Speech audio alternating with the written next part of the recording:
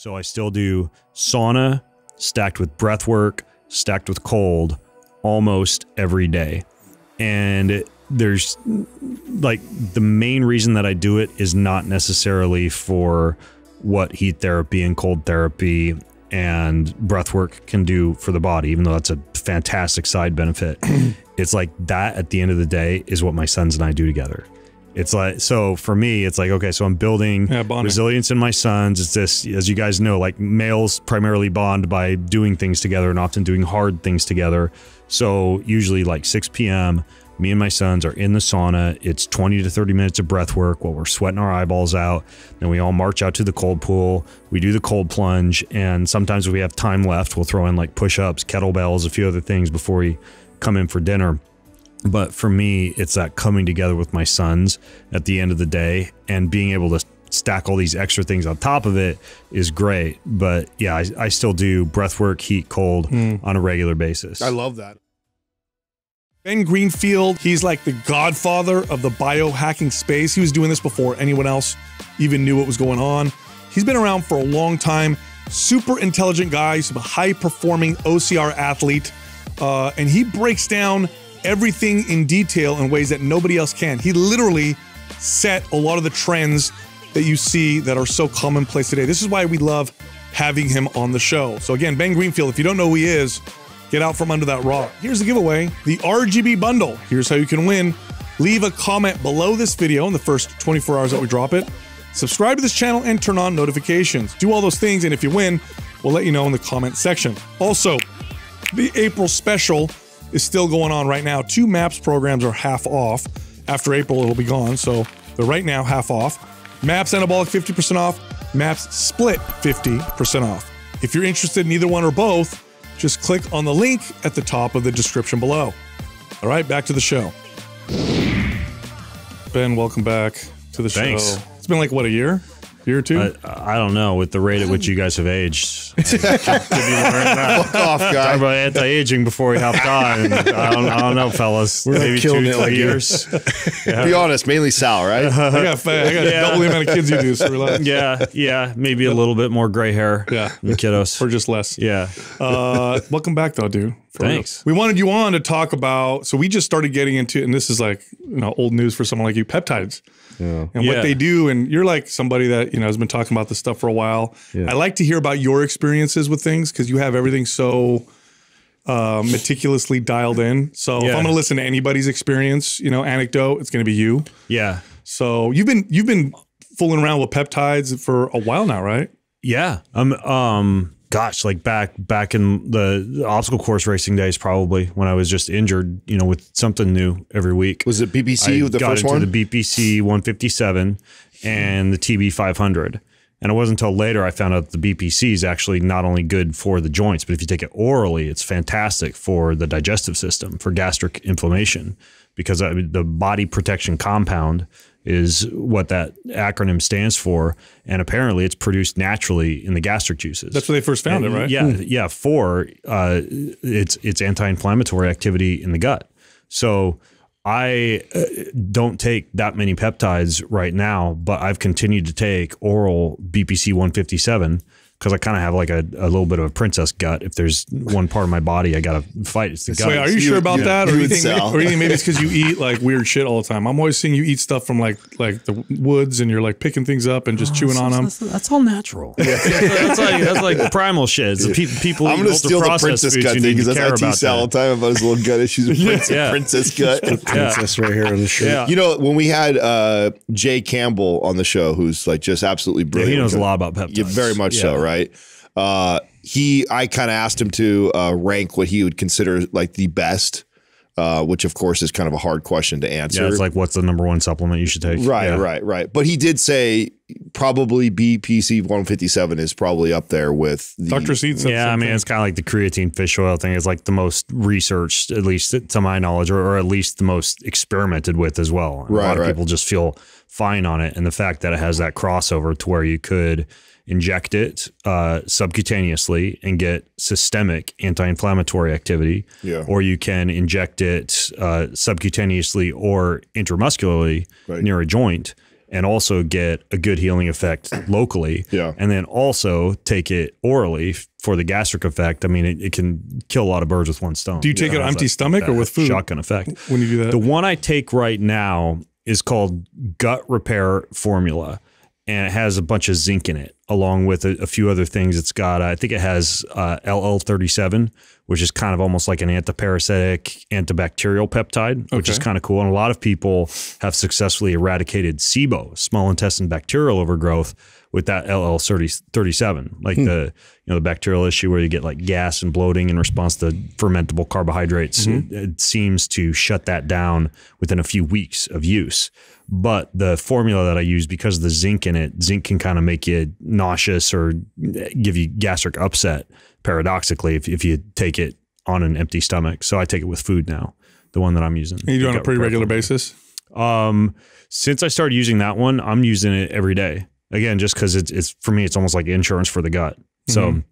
Yeah, but the BPC 157 was the first one that I got into, not for the gut, but for joints. And then because it has a different mechanism of action than the thymosin beta 500, the TB 500, you can take those both at the same time, which is what I was doing. So the BPC 157 has more of the anti-inflammatory effect on the joint, whereas the TB 500 acts more on the on the soft tissue, like the ligaments, tendons, and apparently helps to repair those if they're injured or accelerate the speed of healing. Now, I So have I've a, taken both. I have a buddy who coaches a lot of NBA players, and I was surprised that so he listened to our Jay Campbell episode and he reached out to me and asking all kinds of questions. Yeah. And I was like, man, I'm really surprised you don't know more about this. And he goes, man, there's a lot of NBA players that don't know about or aren't using it. Is that true? Yeah. Well, I mean, a, a lot of that stuff is kind of like, I don't know, the good old boys industry where it's still very much just like Gatorade and ibuprofen and, Yeah. Uh, and, and some of the fringe stuff, especially stuff that doesn't have a big stamp of approval by the FDA or flies in and out of legality. It's like a lot of players will go to, if they have one, like their personal trainer or someone who's not on team staff to get mm-hmm. that kind of stuff or use it, but it's not that heavily used just because it's not like endorsed by the teams. I, there's some teams like you know Golden State, Miami Heat, like they They're pushing you know, the I, I was in in it's not uh, American Airlines Arena, it was FTX for a while, and I don't think it's called FTX anymore for obvious reasons. But I I visited um, uh, Eric, my friend down there, who's the strength conditioning coach for the Heat. I mean, you walk in there and it's like uh, you know the training room is all PEMF mats and infrared. I don't know if they're using peptides, but they got whole refrigerators full of just like fringe stuff that kind of flies under the radar. And the, you know, and there's the Golden State Warriors are another example. You know, they're doing Yeah. a lot of like biohacking modalities and Yeah, I remember they were using like the Halo, the Halo stuff early. Yeah. Like, yes. yeah, the, Were the you a consultant? Did you go down and, and help set up like some of these um, I, biohacking? I, I don't do any formal consulting with the Heat, for example, but they wanted me to come down and look at. And and again, I respect this. Something that's not taken into consideration much in professional sports, like the environmental aspects of the training facility, like the air filtration system, hmm. the type of water, like you know hydrogenated structured water versus just regular water out of the municipal supply or whatever, or the uh, electricity considerations, like how high of an EMF environment, which could have an impact on healing or inflammation, or um, uh, even the lighting, like circadian rhythm friendly lighting versus non. Like there's all sorts of like little things that go beyond just the nutrient and movement and recovery consideration. Mm-hmm. so I went down there a couple times and had some pretty fast. I would imagine the reason the reason why they probably don't either work with peptides or advertise it is because of the stigma for PEDs. Well, no, 'cause I, it's like I know why they would Right. not advertise it and make it a big deal, but I thought, you know, Paul, with his connection so deeply to the NBA, I thought for sure that he would have been privy to it, but mm. as soon as we were saying. or before, especially something like BPC, because man, I experienced that with my Achilles, and it was almost scary how much it worked. Yeah. Like I was more like it, it felt like it healed, but I was still afraid to go to go test it. Yeah. because it felt so good. Yeah. Do I get a tumor in the ankle in two months from that accelerated healing effect? Yeah. And, and, you know, BPC 157 or BPC 157 and TB, that's like kind of the low hanging fruit for injuries. And then, at least for me, when I started looking at peptides, what I came across was all this old Russian research. It's been going on for like three decades that, again, doesn't seem to have penetrated much into the age reversal or longevity movement in America and some westernized countries. But when you look at, for example, things like mitochondrial density and mitochondrial proliferation, which is pretty linked not only to cardiovascular health, but also overall longevity, they've got peptides over there for that.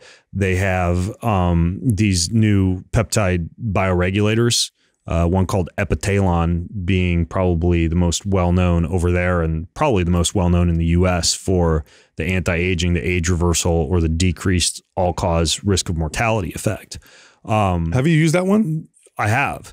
I've, I've used these, well, they're called peptide bioregulators. So they're shorter amino acid chains than a typical peptide like a TB or a BPC but the way that they work is they would travel and they've done amino acid tracer studies on these things. They travel to the specific organ that they're intended to target. So you have and they got weird names like i think the one for the gonads is testalon or something like that. Then they got one for the brain. Uh, I, I forget the name of that one. They got thymolon for the thymus and the immune system. But there's like a couple dozen of them and so the mm. protocol that this guy, Dr. Khavinson, it's K H A V, Khavinson, that he's researched and implemented in human models, like pretty large human models over a long period of time, has been taking these peptide bioregulators a couple of times a year for short stints. Like you might do two times a year, a 10 day cycle of all of the bioregulators, which actually involves like with as many of them as there are, like 30 different capsules that you're taking for 10 days in a row and it's essentially causing this this healing effect on all the different organs that they're each traveling individually to target. And then there's some docs, um, actually a guy who I'm going to see later on today, Matt Cook, he sent me up these injectables where they combine all the bioregulators into like one syringe and you would just do like a subcutaneous injection in the abdominals for 10 days rather than taking all the capsules. But I think you were talking before, Justin, how you, you can find peptide bioregulators online now. Yeah. Uh, probably the most well known researcher in the US is, is Phil Micans, M I C A N S. And he has a couple of books on peptide bioregulators. He's got a whole website where he reviews a bunch of them and a whole bunch of articles. I, I interviewed him a couple of months ago and he's he's pretty fascinating when it comes to how to actually use these things. The one you mentioned, Epitalon, Epitell? Uh, yeah, Epitell, E P I T H. That's the one that I that I read a little bit about. I think that one's yeah. more kind of well known. You, you yeah. use that one. Do you notice anything from that or no? Okay, no. It, oh, I mean, like it, it's it's like oh, it's like freaking fish oil, right? Yeah. Supposedly, it decreases triglycerides and improves cardiovascular health and decreases risk of stroke. But it's not like you take it and you're like, man, my VO2 max was huge this morning, and I just crushed it at the gym uh, what you're keeping your fingers crossed for is that it's having the age reversal effect. So, would what would you say would be the researched. best way to try and obviously you're it's you're not going to probably feel it. So, would you do something like uh, go test your biological age and then yeah, consistently methylation clock? Like like yeah. probably the the better one is is uh, TruAge Diagnostics. Okay, um, it's True spelled without a e feel like this is a spelling bee all of a sudden. I know you spelled some four or five different things. Um, Google auto completes it for you, anyways. Um, the the TruAge test measures the um, your your current biological age. So whereas a telomere test, which is kind of like old school now when it comes to measuring longevity, all that does is it measures the rate at which the telomeres are shortening on the white blood cells of your body. And so it gives you possibly a little bit of an indicator of your rate of aging. But these new methylation clocks, they're actually looking at how quickly you are aging compared to the average person. So, like my last aging rate that I took was 0.73. So for every year, you're only aging for every year. What it was like 266 days or something like that. So so for the average person who would be aging 365 days for a 365 day year, I'm aging 266, and that's like that whole what's what's the the transhumanistic phrase for when we've reached. uh terminal velocity of or, or you know who's going to be the first human who's actually reverse aging. Oh I don't yeah know. technically that would be like a whatever a negative 0.99 mm. which nobody's even close to. But that 0.73 that i have is supposedly very very good when it comes to measuring how quickly you're actually aging. I'm trying to do the math right now on like let's fast forward. If you stayed on that pace for say 20 years how many how many years you already shaved off I don't know because peptide bioregulators don't make you good at math. But well, you're basically yet. saving regardless, about a hundred years. Saved off, yeah. You've added an extra six years, according to my. Okay, is that about right? I mean, yeah. I, I, I, was getting five or so. I was doing the math real quick. So about so five or six yeah. years every every. What I say? Every 20, every 20 years. Yeah. Yeah. So that's the yeah. typical protocol. You take pretty much like all the bioregulators that cover all of the organs. Uh, yeah. It, so it's not like they're specifically targeting them, or is that's an option though? Well, right? theoretically, like let's say I don't know, you had some kind of immune system issue or you had a low white blood cell count or something like that, you could just take the Thymolon for a 10 day cycle. Or, you know, if you wanted more of the, the androgen like effect, you'd take like the Tessalon for a 10 day cycle. But the gold standard is you're supposed to just like take them all. And that this is what they've done in terms of what they've shown in the Russian research on the longevity enhancing effect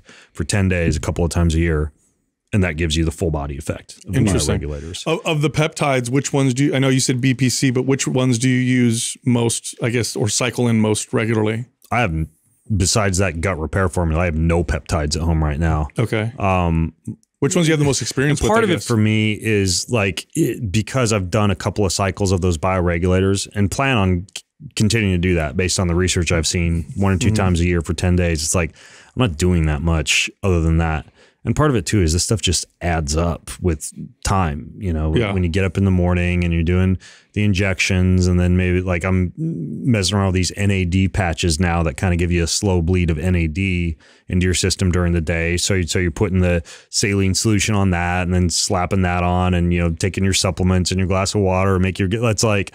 I, you know, you get to a certain point where you just got to get on with your morning. So, and I don't want to be that, you know, biohacker who's cold and hungry and libidoless and you know curled up in a fetal position inside a hyperbaric chamber before I hop onto my would you say that's something and everything else would you say that's something that's changed about you in your journey of biohacking like uh or, yeah because you had all the tools all the everything. right like how how have yeah. you evolved at, in that space yeah, part of it is yeah, time is finite, and so if there's an extra 15 minutes of the morning that I can spend with my sons, you know, because I'm I'm a big fan of bringing the family together in the morning and doing meditation and journaling, and then getting my workout in and helping the kids get ready for school and you know meeting with mom and everything else. Like to me, the family, the relationships, and making sure that I'm being a good leader of the home is far more important to me than prioritizing like you know getting an extra you know two seconds every month on life or whatever.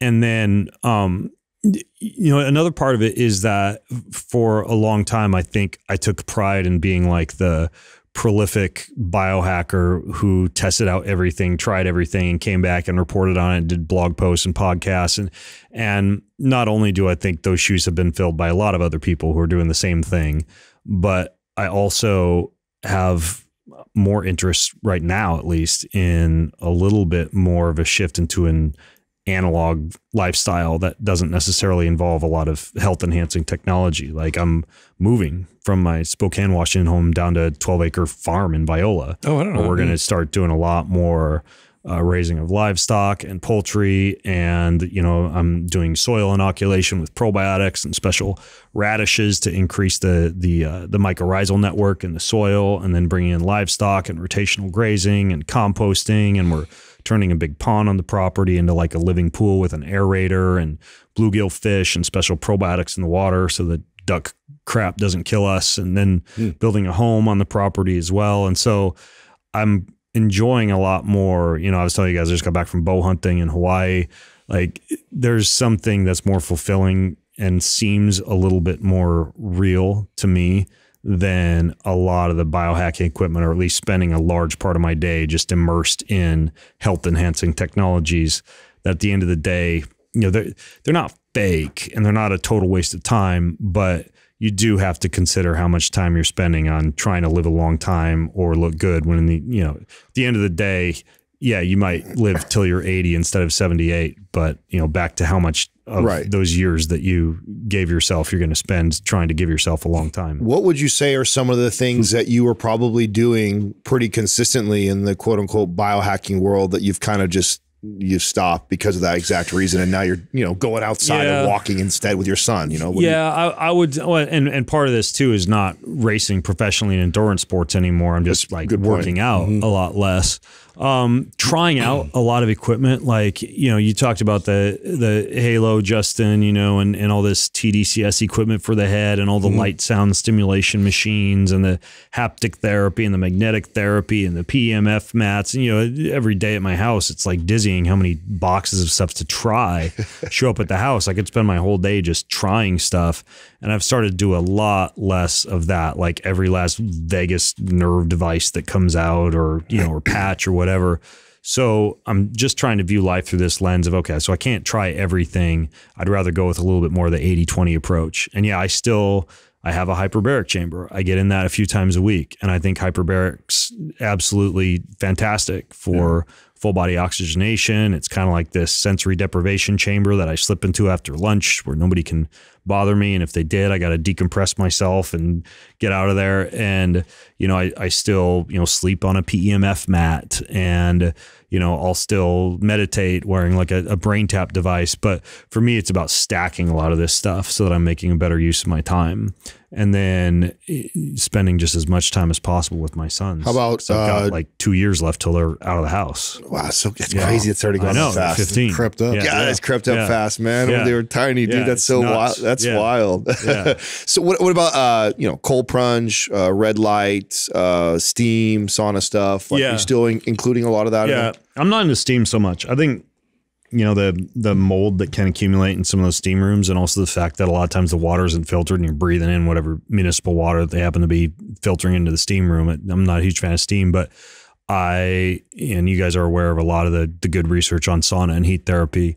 So i still do sauna stacked with breath work stacked with cold almost every day. And there's like the main reason that I do it is not necessarily for what heat therapy and cold therapy and breath work can do for the body, even though that's a fantastic side benefit. it's like that at the end of the day is what my sons and I do together. It's like so for me, it's like okay, so I'm building yeah, resilience in my sons. It's this, as you guys know, like males primarily bond by doing things together and often doing hard things together. So usually like 6 p.m me and my sons are in the sauna. It's 20 to 30 minutes of breath work while we're sweating our eyeballs out. Then we all march out to the cold pool. We do the cold plunge. And sometimes we have time left, we'll throw in like push ups, kettlebells, a few other things before we come in for dinner. But for me, it's that coming together with my sons at the end of the day and being able to stack all these extra things on top of it is great. But yeah, I, I still do breath work, heat, cold mm. on a regular basis. I love that. Yeah. And I love that you've stacked it with an opportunity to bond with your your boys. You know, I think yeah. that's awesome. Would you view yeah. like a lot of these biohack things the same way that we kind of view supplements where we tell people, look, uh, nothing's going to be, for example, a diet that's based on on whole foods. However, if you live in the modern life and you have trouble, let's say getting enough protein or getting the right kinds of fermented foods, then supplements uh, are they'll help. They'll help, but they're not a pure replacement for whole foods. Would you say that these biohack things would kind of fall in that same category? Yeah, you're you're basically simulating what you'd normally be getting from nature. And, Got it. You know, so the red light therapy panels that I'm using for my first 20 minutes of checking emails or whatever in the morning is because I don't have the time or the convenience of time to like hike the half mile up behind my house in the forest to go hunt down sunrise and stare at the sunlight for 15 minutes and hike back down to the house. It's like, no, I got to like start into emails, but I'm bringing the sunlight into my office while at the same time I'm standing on a little mat that has like a cable coming out of it that goes out and, and is inserted via metal stake into the backyard. So I'm like getting the benefits of grounding and earthing. And then I have like a, a HEPA air filter in my office that's churning out negative ions, right? Which I would normally get if I were outside breathing in the fresh air. And so, yeah, like if you can't get out much or you can't get into nature a lot, you can simulate a lot of this stuff using new technologies that exist, which is great. I mean, ideally, you're doing both, right? Right. So it's like, yeah, I'll do the red light therapy in the morning, but then, you know, whenever I get a phone call, I'll step outside in the sunshine or, you know, go outside barefoot or whatever. So I think both is a pretty good idea. When you when you finish building the farm, do you envision yourself pulling away from some of the work you're doing and spending more I have time? to. Yeah. yeah. I mean, it's, it's not like I'm going to be able to be outside with my hands in the soil and doing rotational grazing of goats and chasing ducks out of the pond, etc. Emails a day. Well, I'm, well, I'm also, you know, doing a lot of like the podcast and the ride. So, um, I don't know exactly what life's going to look like. Kind of like some of my friends who are stockbrokers and run half their company while out in the golf course from their phone. I would imagine I'll be doing some stuff from my phone just while I'm out in the farm. But my my goal is to keep podcasting because I love, probably like you guys do, to talk to super interesting people mm-hmm. a couple of times a week, and I love to write, so I'll keep on writing books. And then my sons and I just launched a new gaming company and so I plan to do a lot of that with them because they're little illustrators and designers.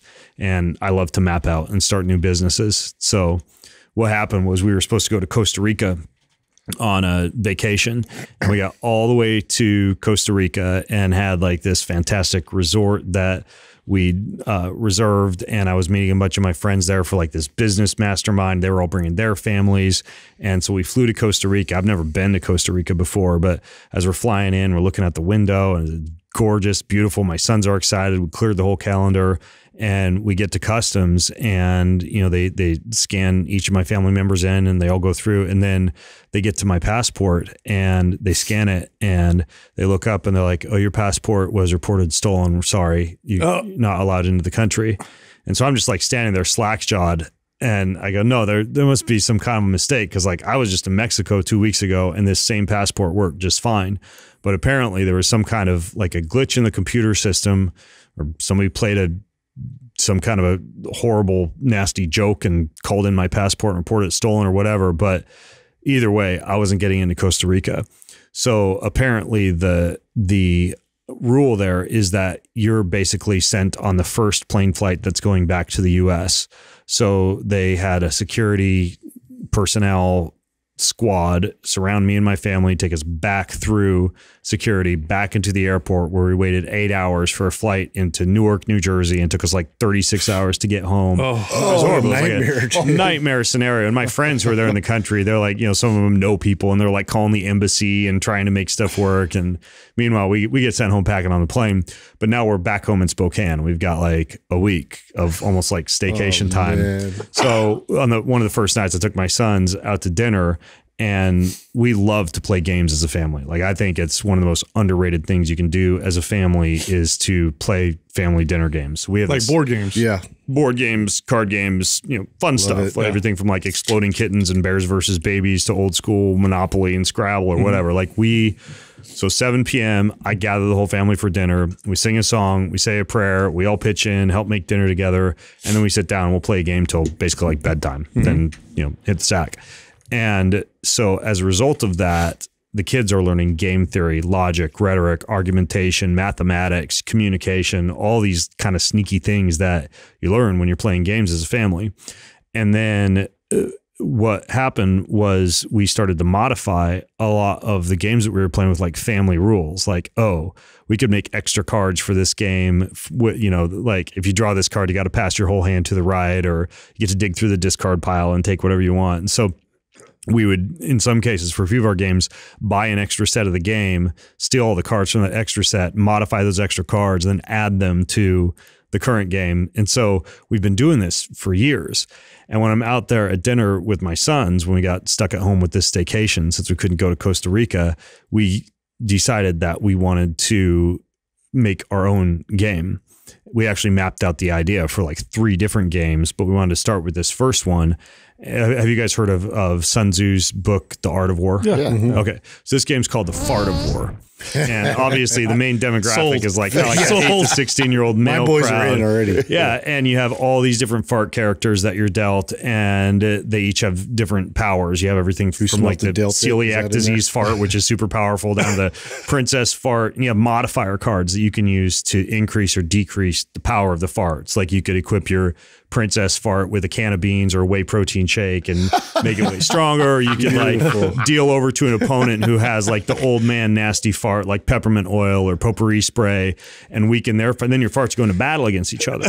and there's also special modifier cards, like you could lay a blame it on the dog card along with your fart, which masks the identity of that fart, so nobody knows which one in your army has a certain number of points.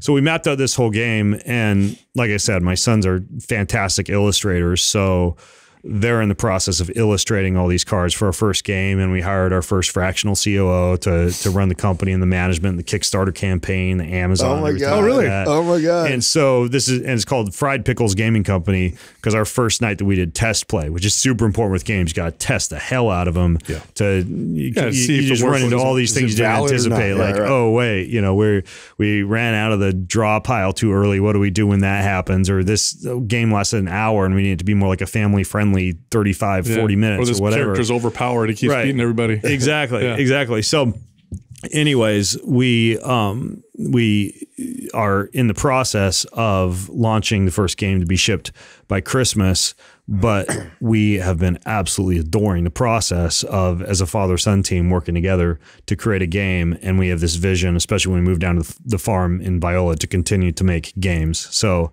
I'll podcast, I'll blog, probably run the game company a little bit, and then just work on the. oh, that's so right. And you said you did a Kickstarter, that so we can sounds look at this game now, or Not yet. Okay. No, but we'll we'll use crowdfunding, and the the reason for that is even though my sons have their like cooking podcast and YouTube channel, which they still run, and I've obviously got an audience. We have to build a new audience that's very game friendly, and apparently the number one place that people go to to find new games for some odd reason is Kickstarter. So even if Oh, you have your own audience and you don't have to crowdfund and you don't have to necessarily build an audience, going from Kickstarter over to Amazon primarily is like the way to launch a game. Oh, that's So, interesting. yeah. Take me back. I love talking dad stuff with you. Take me back to the, you know, you're you're playing games with your kids. How do you and give me an example of you guys sitting down as a family playing with a game and you using that as a teaching moment for, you know, game theory, uh, mathematics or what like how does that play out? Well, I, there there's nothing intentional that I have to do besides play the game. Okay. because let, let, let's say like like the average card game these days typically um, if you're looking at a card it will say if you draw this card then this action or when drawn on your next turn you get to do xyz you may or may not draw another card or Uh, there, there's typically some type of logic very similar to what you might experience if you're taking like CS 101 or something like that in college, but it's delivered in a more fun, lighthearted gaming format. Or another example would be we'll get a game like Bang, where all the instructions are in Italian. So we have to practice a different language while we're playing the game. Or we'll even modify some games like Scrabble or Quiddler to where you get double the number of points if you spell whatever the theme language of that night is a, a, a word in Spanish or a word in Italian or German or whatever. And so it can be used for language learning. It can be used for the game theory, the logic component. Obviously, there's some math when you're doing point calculations. Communications piece is important because the, and I learned this, the metric of a good, successful game these days is that it must involve interaction with the other player's game sets or game cards, right? Um, Monopoly would be an example of a game where it's kind of weak on that. Like you're mostly working on your own bank, your own houses, your own monopolies, and there's a little bit of trading amongst other players, but typically a good game involves like the part of war where you're literally like battling players every turn and modifying other players' cards every turn or, or basically interacting with other players in some way. So there's a lot of communication. Yeah. That's involved. Monopoly is like one of those games that st- starts fights too. I've noticed. Oh, yeah. all the games that one yeah. like pisses I mean, people all off. games could It is do that. drawn Well, out, Have you done like- ti- uh, Ticket for Your Ride? No, what's oh. ticket for your ride? Oh, you'll like that one. That's like a, you have to build these connections, and it's really good about that. Where you're you're having to play on other people's stuff. You get dealt all these cards, and you and there's all these like from San Francisco to New York. So think of like all the places like trains would go all over the country. Oh, I know what you're talking about. Yeah. We own that game. We haven't busted that open. Oh, you gotta bust There's like a section in our closet like the 10 games we haven't opened up That's yet. like one of my favorite games. Stack of books we haven't read yet. There's a lot of strategy involved. Yeah. You'll like that game a lot. Okay, I'm gonna bust that out when we get home. Then. Yeah, yeah, So. That's That's a good. I'll move, I'll move that one to the top of the list. But back to the communication piece. I mean, a big part of it too is um, teaching honesty and ethics because I have caught my sons cheating a couple of times, oh, and really? that's mm-hmm. when you launch into those discussions like, oh, what do I do now? They they cheated. You know, does it mean that they're doing extra dishes during dinner or you know? But we we have a philosophy in our house where there's very little like um, you know, corporal punishment. We don't say no a lot. Instead, we let them deal with the consequences of their decisions and or see the disappointment and experience the disappointment that they generated amongst their fellow game players or their parents or their siblings or whatever when they might cheat. So, for example, you know, classic would be like if I catch my son Terran calculating his points incorrectly, I'll just pipe up and be like something, I'll, I'll say something like, "Well, Terran." You just ruined the game for everybody for the entire night. How does that feel? and, and, and, I mean, and that that sounds harsh, but it but it teaches them like the importance because they they don't do a lot of like team sports. They're jujitsu, tennis, so they aren't, they aren't doing a lot in terms of like basketball and football and baseball, etc. So a lot of like their team play aspects they're learning at the dinner table during games.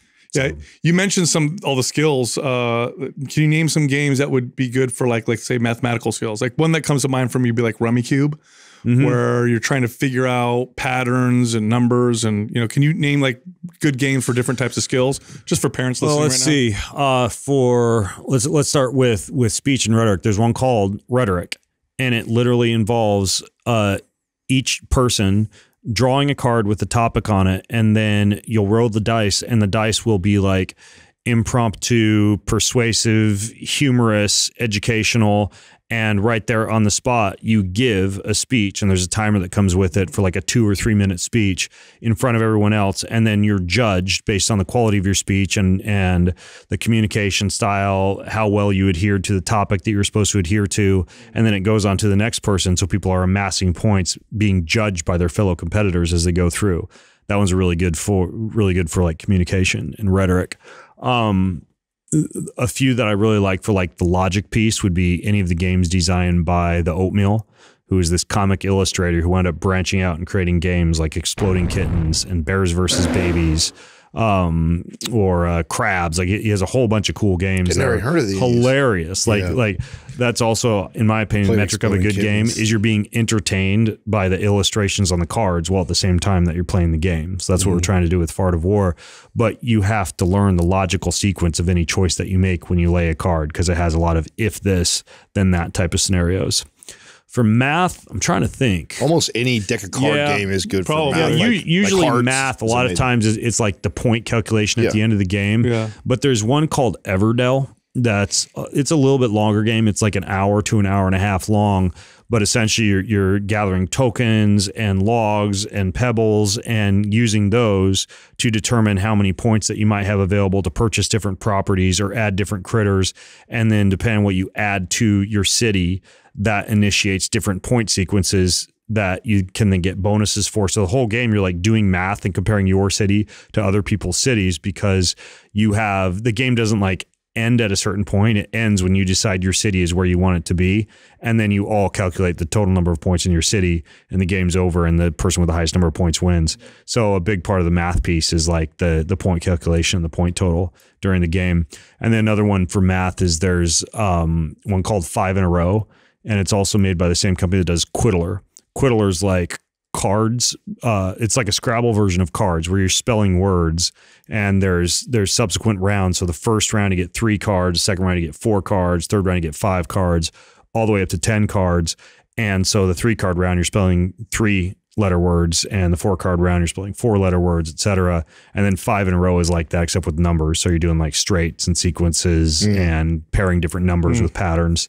So, and when you guys are playing, so you don't find it necessary to like, oh, did you see that, son? This is that. Like you're not teaching it as you go through. You think very, just, very rarely.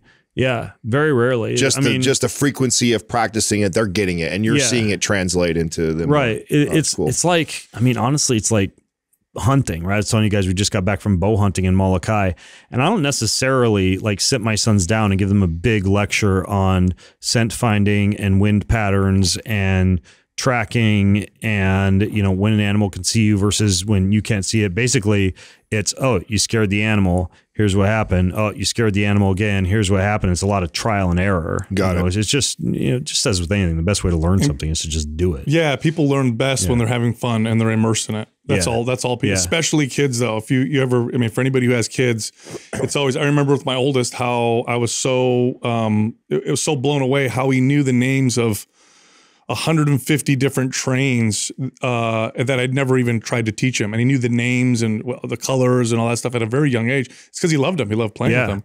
Yeah, and sometimes that can backfire. It's like you know, like Minecraft, right? And and uh, that's kind of a huge time suck and distraction for a lot of kids who aren't necessarily like playing uh, TikTok, for example. And my sons don't really do much on social media. They have social media accounts for just about every social media platform out there.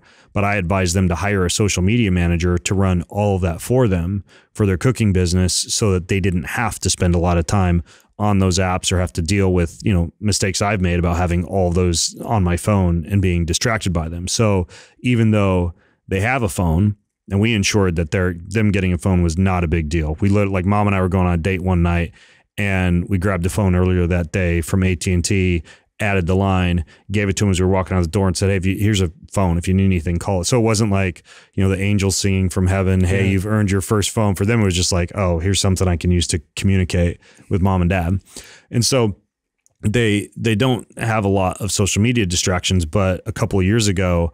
I caught them playing Minecraft a couple of times while they were supposed to be in their online Spanish class and their online math class.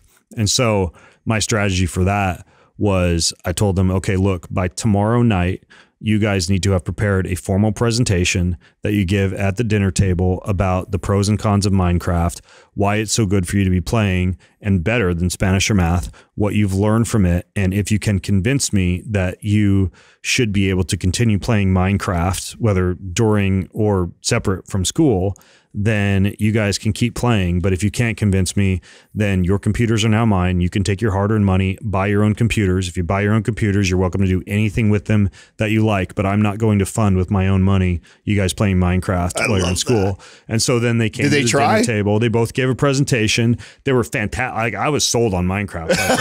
like, this game's amazing. I want to learn how to play. But then, of course, at the end of it, they both apologized profusely for playing Minecraft during their Spanish math classes and said that based on the benefits they'd presented, they felt they should be allowed to continue to play, but that they wouldn't play during Spanish and math. And they were sorry for using the computers that I bought for them for different purposes to do so. And so then I just gave them a thumbs up and said, all right, play Minecraft whenever you want, but not during Spanish and math. Oh, it works. That's awesome. Acknowledge that that's not the best time to be doing it. it. I, I love that. I did it a girl who her dad, I've never heard it a parent do this is very similar, who like if she came to him and wanted like a TV in her room or this that, he, she would have to write an essay and present right.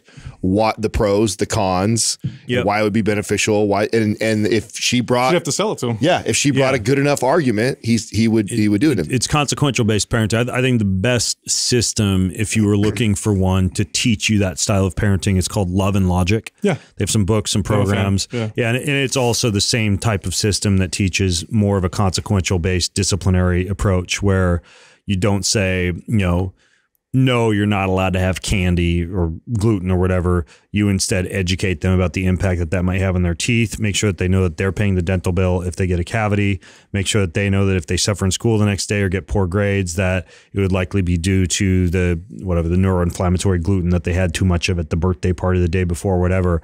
Then you step back, let them make the decision and live with the nasty consequences if they decide to. Yeah, a simple uh, example would be like, I'm not wearing my jacket. It's but it's cold outside. I don't yeah. wear my jacket. Okay, we're going out. You don't need to wear a jacket. Yeah. And they're cold. Right. And that's that's a real easy example of like what that's like. Yeah. Or or my son, he he got blisters during our last hunting trip. I was very specific with him about how to put on his socks and which shoes to bring, and he didn't. So I just you know I turned to him and said, Hey, too bad. Pay attention to details next time.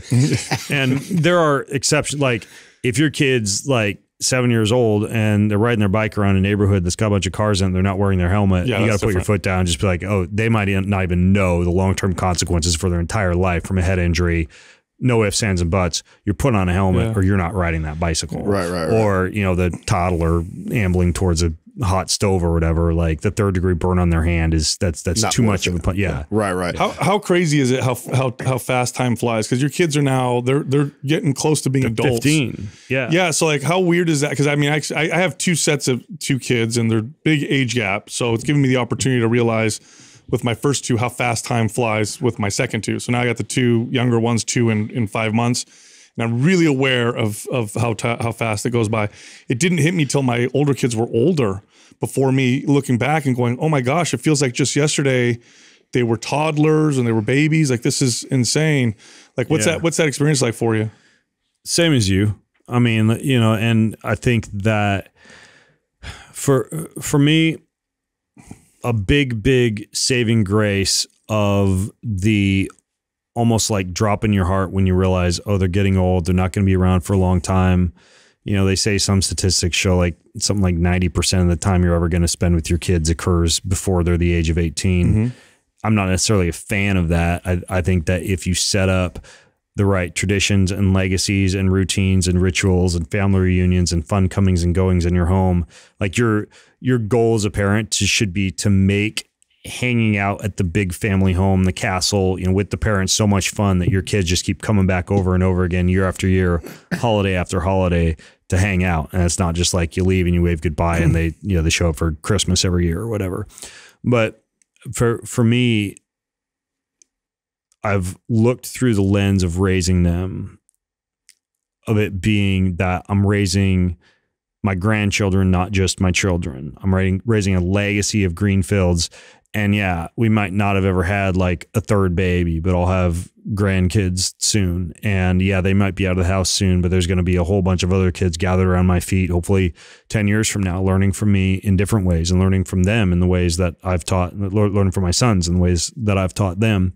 And so we have so many traditions and legacies and routines and rituals just built into the daily comings and goings in the Greenfield home, down to the point where we have like a massive 100 plus page playbook for running a Greenfield family. Our mission statement, our values, the design of the family crest, each family member's spirit animal and color, all the names and numbers of everyone who, from the family attorneys to the family bank to the family trust to um, what we do on Christmas and Christmas Eve, what we do on Easter, what we do on Thanksgiving, um, at what age the sex talk occurs, at what age the boys have the rite of passage into adolescence, at what age they have the rite of passage into adulthood, at what age they go on their first service trip. Like it's all spelled out in there. And so it even comes down to hey 7:30 a.m. is when no matter what anybody's up to we all meet for our 15 minute meditation and family huddle in the morning. So we all get on the same page.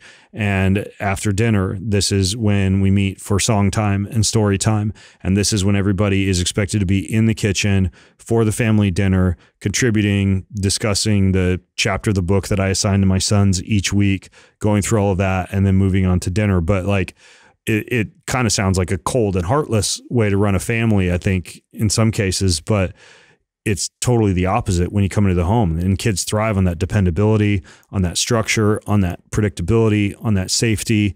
And then as they grow older, rather than me feeling like oh, I'm losing it all, they're moving on. Instead, they're just the foundation of this bigger thing that we're building It's gonna grow. as a family. Have Yeah. you thought about how that would impact uh, like one of their partners? Like, let's say your son starts dating a woman. super freaky and weird for their And- partner? Well, I was just going to say, you know, because you might, because the, the two options I could imagine, just off the top of my head, would be either one, they would marry someone who has their own very strong traditions, usually Mm-hmm. Yep. culturally, and there could be a clash there. Yep. But I think that would be the better of the two options because then what would probably happen is there'd be a bit of a compromise. So these holidays we do, or what may happen is they could find a partner that doesn't have much of that stuff. Then they could feel imposed upon. They could come in your house and be like, "Wait a minute, I didn't grow up with Yeah. this. This feels like like I have no control." What- Have you thought about what this may mean for their partners? I have. Uh, ideally, there's a merging of traditions. So when my sons are married, they get a printed off, beautiful handbook of the entire Greenfield Legacy playbook, along with the online digital version of that. That then they're off with their families to modify and build upon. right? So it's not as though this is what we follow no matter what. It's like this is the foundation upon which you can build and modify. The bigger picture is that a playbook exists, that some form of a legacy document exists. Not that ours is perfect, but you actually have that structure in place that you then, with your spouse and based on her traditions and her legacy and her routines and rituals, you build on. And then for me, like I had almost no tradition growing up. Like, you know, Christmas would come around, you know, two weeks out from Christmas, my family would be like, oh, what, what do you want to do? What should we have for Christmas dinner or New Year's? Like, what should we do? Where do we go? You know, no, no traditions, you know, we're, you know, our, our family, we, we write our intention on Chinese lanterns and, and launch them into the sky at 10 PM on New Year's day. And then uh, we get out guns and, and explosives and everything else when we blow up all the gingerbread houses from Christmas. These are just like things that we do on New Year's day.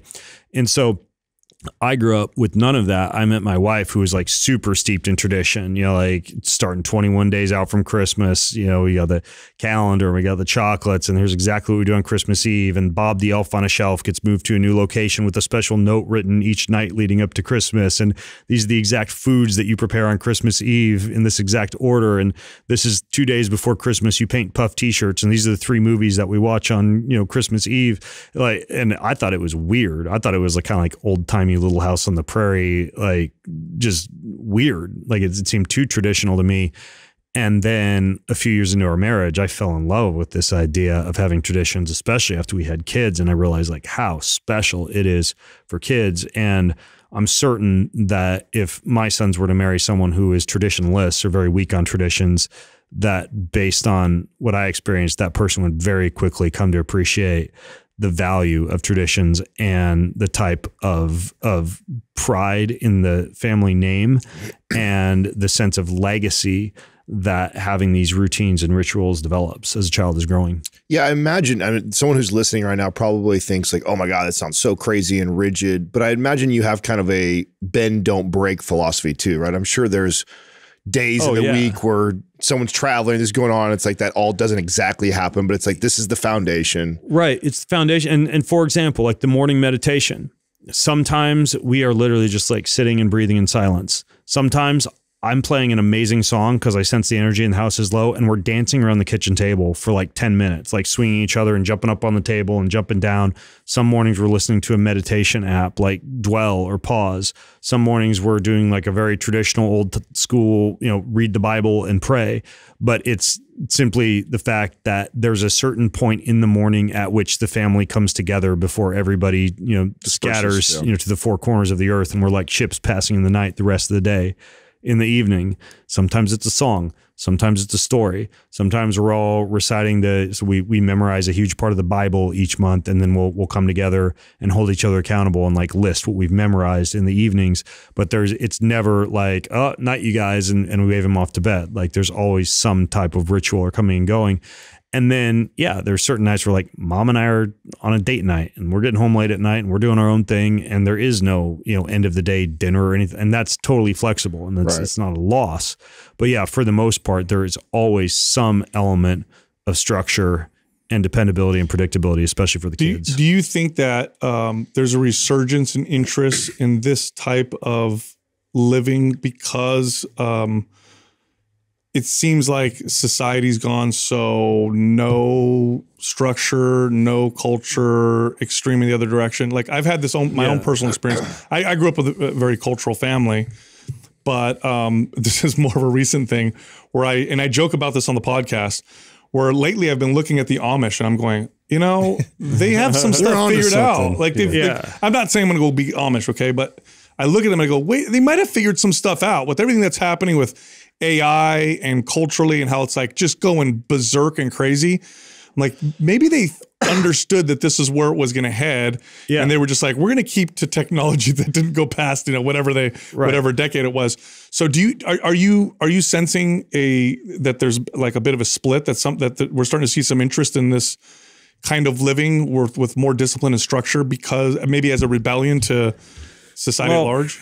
Regarding the Amish piece, I mean, don't get me wrong. Like you can have a very technology fueled digital family with smart appliances and all the kids modifying their social media profiles with on a Wonder or Midjourney or, or whatever folks are using these days, and and everybody's using Chat GPT to plan their day and still have legacy and traditions and rituals and routines and a family playbook. I'm going to ask you though in another 20 years if you're to, see, a to see Silicon Valley family or a North Idaho family. I, I don't think that that how digital versus analog yeah. you are is going to influence that much the traditions that are woven into the home.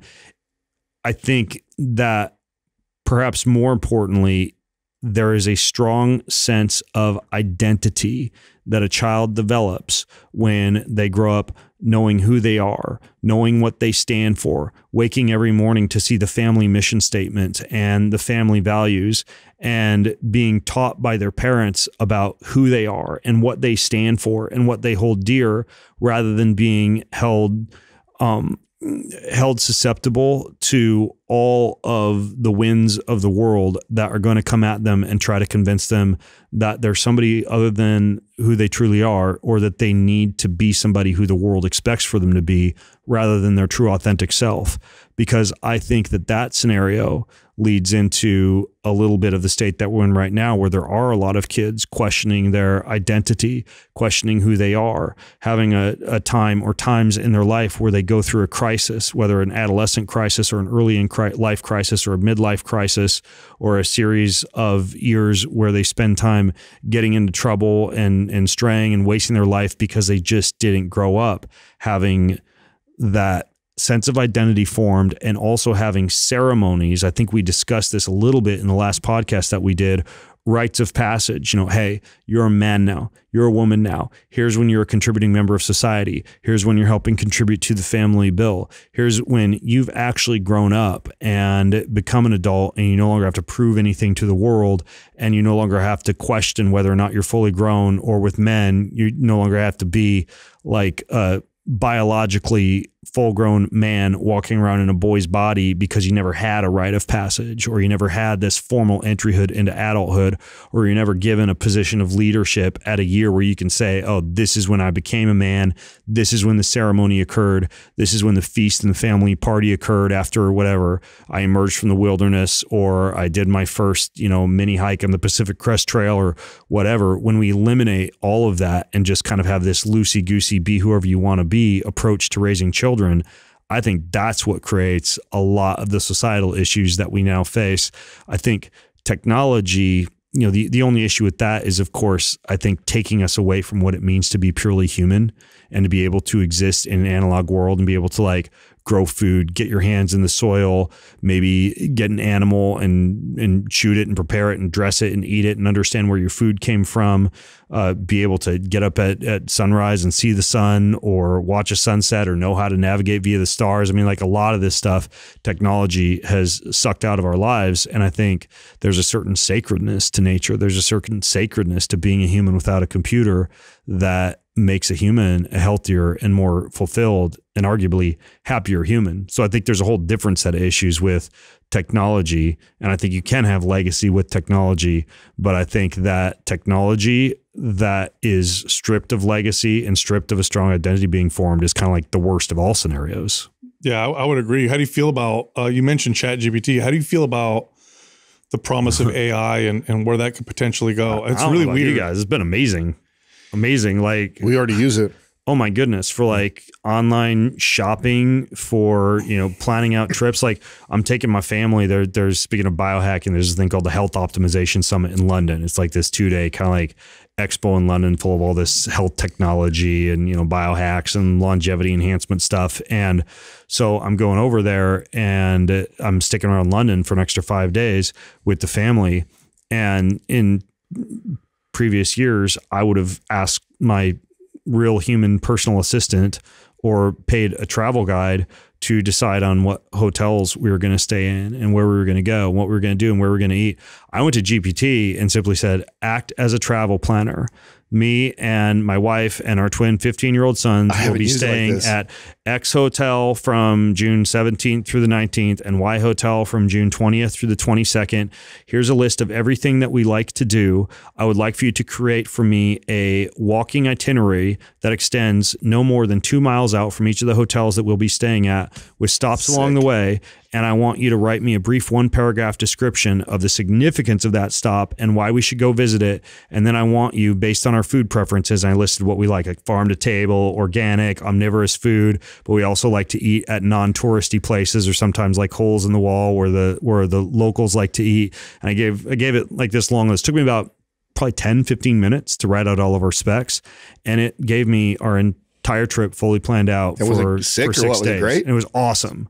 It was it was perfect. Wow. And and that was it. It was done. Like I have our whole London trip planned all the way down to when I'm walking my kids around the city, uh, eight and a half by eleven sheet where I have what GPT said printed, where I can say, "Okay, guys, here's the cool thing that you need to know about this." And by the way, here's the significance of where we're going to dinner tonight. So That's rad. yeah, I mean that's just one example, obviously, but you know, and and then Do you have any worries The- about you know where Oh, it could I'm go? worries and annoyances. Like I tweeted this the other day, like enough already with the AI generated media profiles, like your avatar profile, where it gives you like the 20 images to use. I'm like, hmm. you aren't a superhero. You never will be. You need to understand that people are going to love you with all your zits and flaws and blemishes and wrinkles. You don't need to create a fake portrayal of yourself because all that does is, despite it just being an image, removes my trust in the authenticity and the honesty of just about anything else that you might ever tell me on the internet. Hmm. Just be yourself, your fake, ugly self. And I think that um, deep fakes, AI generated images that we don't acknowledge are AI generated, but that we pretend are the real thing. You know, it, it just imagine the election this year, guys. It's gonna be nuts. No, you don't it's gonna be know weird, Well, that's dude. my concern. whether the politician you're watching on TV is actually the person and whether or not the voice that's coming out of their mouth is actually saying what they say. But then, like, uh, another set, like, I forgot to record the right, you guys have probably run into this commercial code for my podcast before I left town on this trip. I think I said whatever, like BG. 10 it was BG20 or Ben you know you guys have probably done Sure. that before. It's like oh we forgot to say what we're supposed to say for this commercial. And my team writes into me they're like oh that's okay. We started using blueprint. We, we're simply going to tell it what to say. It'll use your voice Ugh. and insert the right code. You don't need to get back in the studio or get in front of the mic and re-record anything. And it's like 25 bucks a month and for for me, yeah, that same information could be used to produce a total deep fake of me advertising deep fried Twinkies or whatever. But there's a convenience factor that I think is pretty remarkable. Dude, there's a whole there's a there's It a sounds just like you. It takes your voice and then um, replicates yeah. it. Yeah, and that technology, I mean, that's not like hyper new, but the ability to be able to kind of like say whatever you write. know where it needs to go and insert it and have it use my inflections and you know i just spent hours and hours recording my audiobook and yeah like i could have just fed all of my podcasts or maybe just like 10 of them into i this wouldn't be gpt i guess it would probably be ai and it could have probably recorded my audiobook for me better and faster than i could have but then for stuff like that, I'm like, but what about the inflections and the little mm-hmm. rabbit holes I go down? And when I stray from the actual writing and give examples or illustrations that might have arisen since the time that I actually wrote the book and it was printed, you know, and so yeah, there's like this human touch that I think is necessary. So for me, I'm at the stage where I'm like, operate with authenticity and transparency. Let your audience know if something has been AI modified or generated, mm-hmm. but use use it as a tool. Like work smarter, not harder. it's going to It'll get, good enough. indistinguishable though. It'll get some good enough to where you won't be able to, to tell the difference. Uh, Yeah. You know, I, I'd say the biggest loss would be the loss of the value you got from the work of reading the book out loud and doing all that stuff. But Yeah. I mean, Arnold just came out, Schwarzenegger just came out with the podcast, and uh, because it's his name, it's like ranking real high, and it's pure AI. It's not even AI him. generated. and it's his voice and What's he saying though? Like like what's the topic? I mean, fitness stuff. I think it's all fitness, health. I don't know, but I haven't listened. But we, you know, it's his voice, but an AI, so it's not even a human doing the podcast. So it's a really weird, strange time. If I'm looking for pure information, yeah. But I mean, guys, like we we couldn't go to AI and say, okay, so um, Justin, Sal, and Adam and Ben want to have a chat about peptides and talk a little bit about games and parenting or whatever. Go Not ahead now. and produce an hour and a half long podcast for us. And have it be anything like the discussion that we're having right now. It would probably sound like a bunch of sound bites. May- maybe not now. Yeah, right now. Yeah. Not now, but I mean, it, it, Yeah. at the rate it's changing and growing, that's the speculation. Well, right? and mainly because mainly because we can, including you, all of us, have so much recorded content. It can get pretty. If you use that like an average oh, person, Oh, yeah. But because there's you've Yeah. talked about peptides probably a thousand times, Th- this is true. and we've This talked about fatherhood a But thousand. then there's times. also the listener. It's like is a listener going to value Right. it once they know, assuming we're authentic and transparent with them as we should be, and tell them this was AI generated in the same way that, like, most people I know freaking hate the plethora of AI written fiction books that are out there, even though they're arguably better in terms of adhering to the hero's journey and the word structure and you know and the character development and the descriptions and everything else in them compared to one written by a human. But the mere fact of knowing that it was computer generated all of a sudden sucks the magic human aspect out of it. Just wait till they call it And- discriminating against AI. You just wait. Right. I know. I know. Well, I have, I have a funny story about that, it, but uh, I'll, I'll tell you in a second. But the um, the other thing that you just noted, Sal, is you also any author who is doing that or lending their name to that misses out on the entire character growing process of writing an actual book. And the fact that writing stuff makes you a better human allows you to know yourself allows you to develop your fluency and your, your fluency and your, and your empathy and your communication. And so I think that we risk many humans not becoming the best version of themselves once they are creating content That's themselves. the greatest mm-hmm. risk. It's like building muscles without working out. Here's your muscles. You, did Yeah. you get all the same value that you would have gotten had you gone and the whole destination, not the journey argument. Right. And then back to the, this is funny regarding rights. Even though this this book is a little bit older, it's probably like three years old now. My pastor wrote a book called Ride Sally Ride.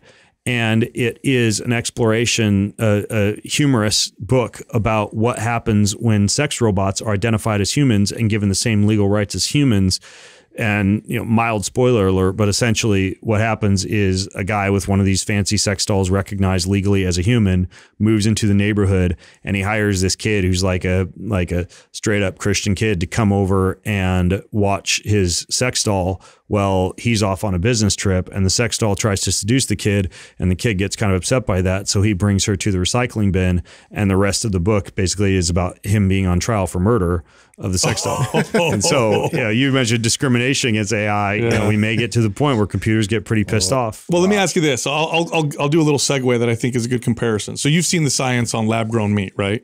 Where Yeah. they, can, they can literally take cells, turn them into meat cells, 3D print a steak with that's actually meat. Would you eat that over real meat or uh, over the real thing? I mean, it's all cells, it's still meat, right? But what? But would you choose that over actual meat? I would enjoy it, but I'd enjoy. Or no, I shouldn't have said it. I'd eat it, but I eat it in the same way that I drink Soylent or an MRP or whatever. Like it's functional food at that point for me. There's no story behind it. There, there's no pasture or farmer or animal behind it. There's no sacredness of the animal behind it. So there's less appreciation for the food. There's that mild knowing at the back of my mind that it is lab grown. And so there's just a little bit of like a, a fake aspect to it for me. And that might be different for the next generation that might grow up on lab grown meat. But there's so many tiny variables. And even when you get down to like the, you know, you, you look at, at wine or some of these newer oils that are grown in laboratories on fermented mediums. Or another example would be the fact that I was recently given this lecture by barbecue chef because I sous vide the brisket rather than tending it over the grill tirelessly for, for 12 to 24 hours. You lose out on a lot of the terroir, on the subtle nuances of the changes in flavor and texture behind a food group when it is grown synthetically in a highly predictable environment versus grown in a less predictable, dangerous, harsh, or heavily varied environment. Right. And so, uh, yeah, you could possibly simulate the terroir of Bordeaux with lab grown wine or what you get from a, a Piedmontese or an A2 Guernsey or whatever from lab grown meat but I still question whether ultimately it's going to ever simulate the flavor experience or the psychological experience of the real thing. I yeah, don't know. I would think that. Uh, I think at some point they'll get good enough to where you won't be able to tell the difference. They'll be able to fool us, but I think it's going to be still be. know the difference I- unless they won't tell you. That's it. I think it's going to have to be like that. Like pod, we've already joked about this that we're going to label our podcast organic. This is an organic podcast, real humans, because Oh. at some point there's going to be a ton of podcasts that are AI, and they're going to be perfect and Made by humans that bleed. Yeah, there's, there's, there's already a certifying agency for authors where uh, you, you can get certified that your book was not written with the assistance of AI. I forget the name of the organization. Uh, A podcaster Started. who has a really great podcast about the future of writing and books. Her name is Joanna Penn. She recently did an interview with the guy who runs that certification company, but I think we'll see that rinsed, washed, and repeated for podcasts. Like, were these real humans having these conversations? And if AI was used, like, is it a grade one, grade two, or grade three yeah. level of AI use? The same for restaurants and meat. The same for books. The same for gosh, music. I mean, that's that's a big one that I you know I've seen a lot of the music engines, mm-hmm. and I I didn't tell you guys this. I just got back from Nashville two months ago, and I recorded my first EP. So I was you know in the nice, studio with musicians, you know, doing all the songwriting with co-writers and collaborators, and spent literally like eight hours a day working on an album that could have been produced probably in about 20 minutes by AI. But the meaning and the significance behind that music for me is always going to be greater.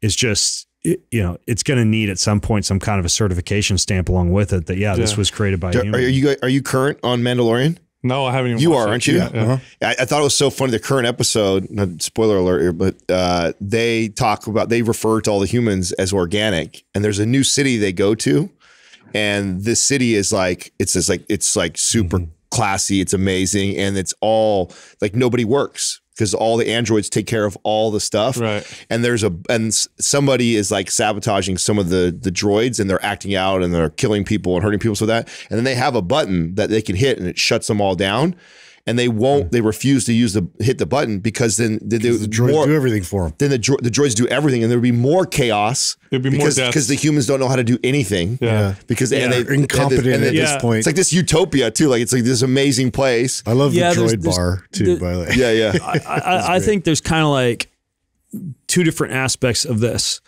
Um, the first is that we, I think, have a craving to create and to make and to produce. Maybe not everybody, but you know, especially for us as entrepreneurs, we understand this. Like if we woke up in the morning and a robot was doing everything for us, we'd still have humming away. At least I would at the back of my mind. All right, what am I going to yeah. create today? What value am I going to bring to the world with who I am?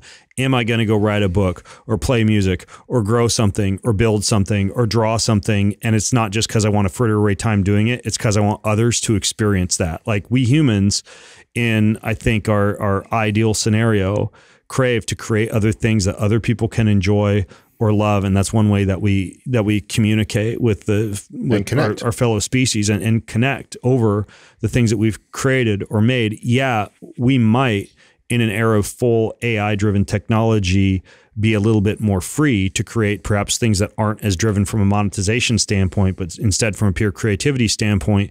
And i think that's like a great outcome. It, it, would be us becoming more creative and making the, better works of art. The data on that's already clear. Like if you look at the data on happiness with with Arthur Brooks is a great resource for this. It, you need to have challenge and struggle, and you need to create something that you that other people find valuable. So when you look at like when people retire, the, there's a there's a divergence in people who retire, and a big percentage of them become depressed, anxious, yeah, because they stopped working, and then other half become happier and feel better because they they start teaching. Right. So rather than doing, they start teaching. So if we live in a world like where we shift retirement to age ten, well, or, yeah. or if we live in a if we live in a world like the one that was just depicted, where robots do everything for us, that's hell. And that's actually what yeah. I think. And so people always they, they speculate AI is going to kill us and we're going to have like Terminator.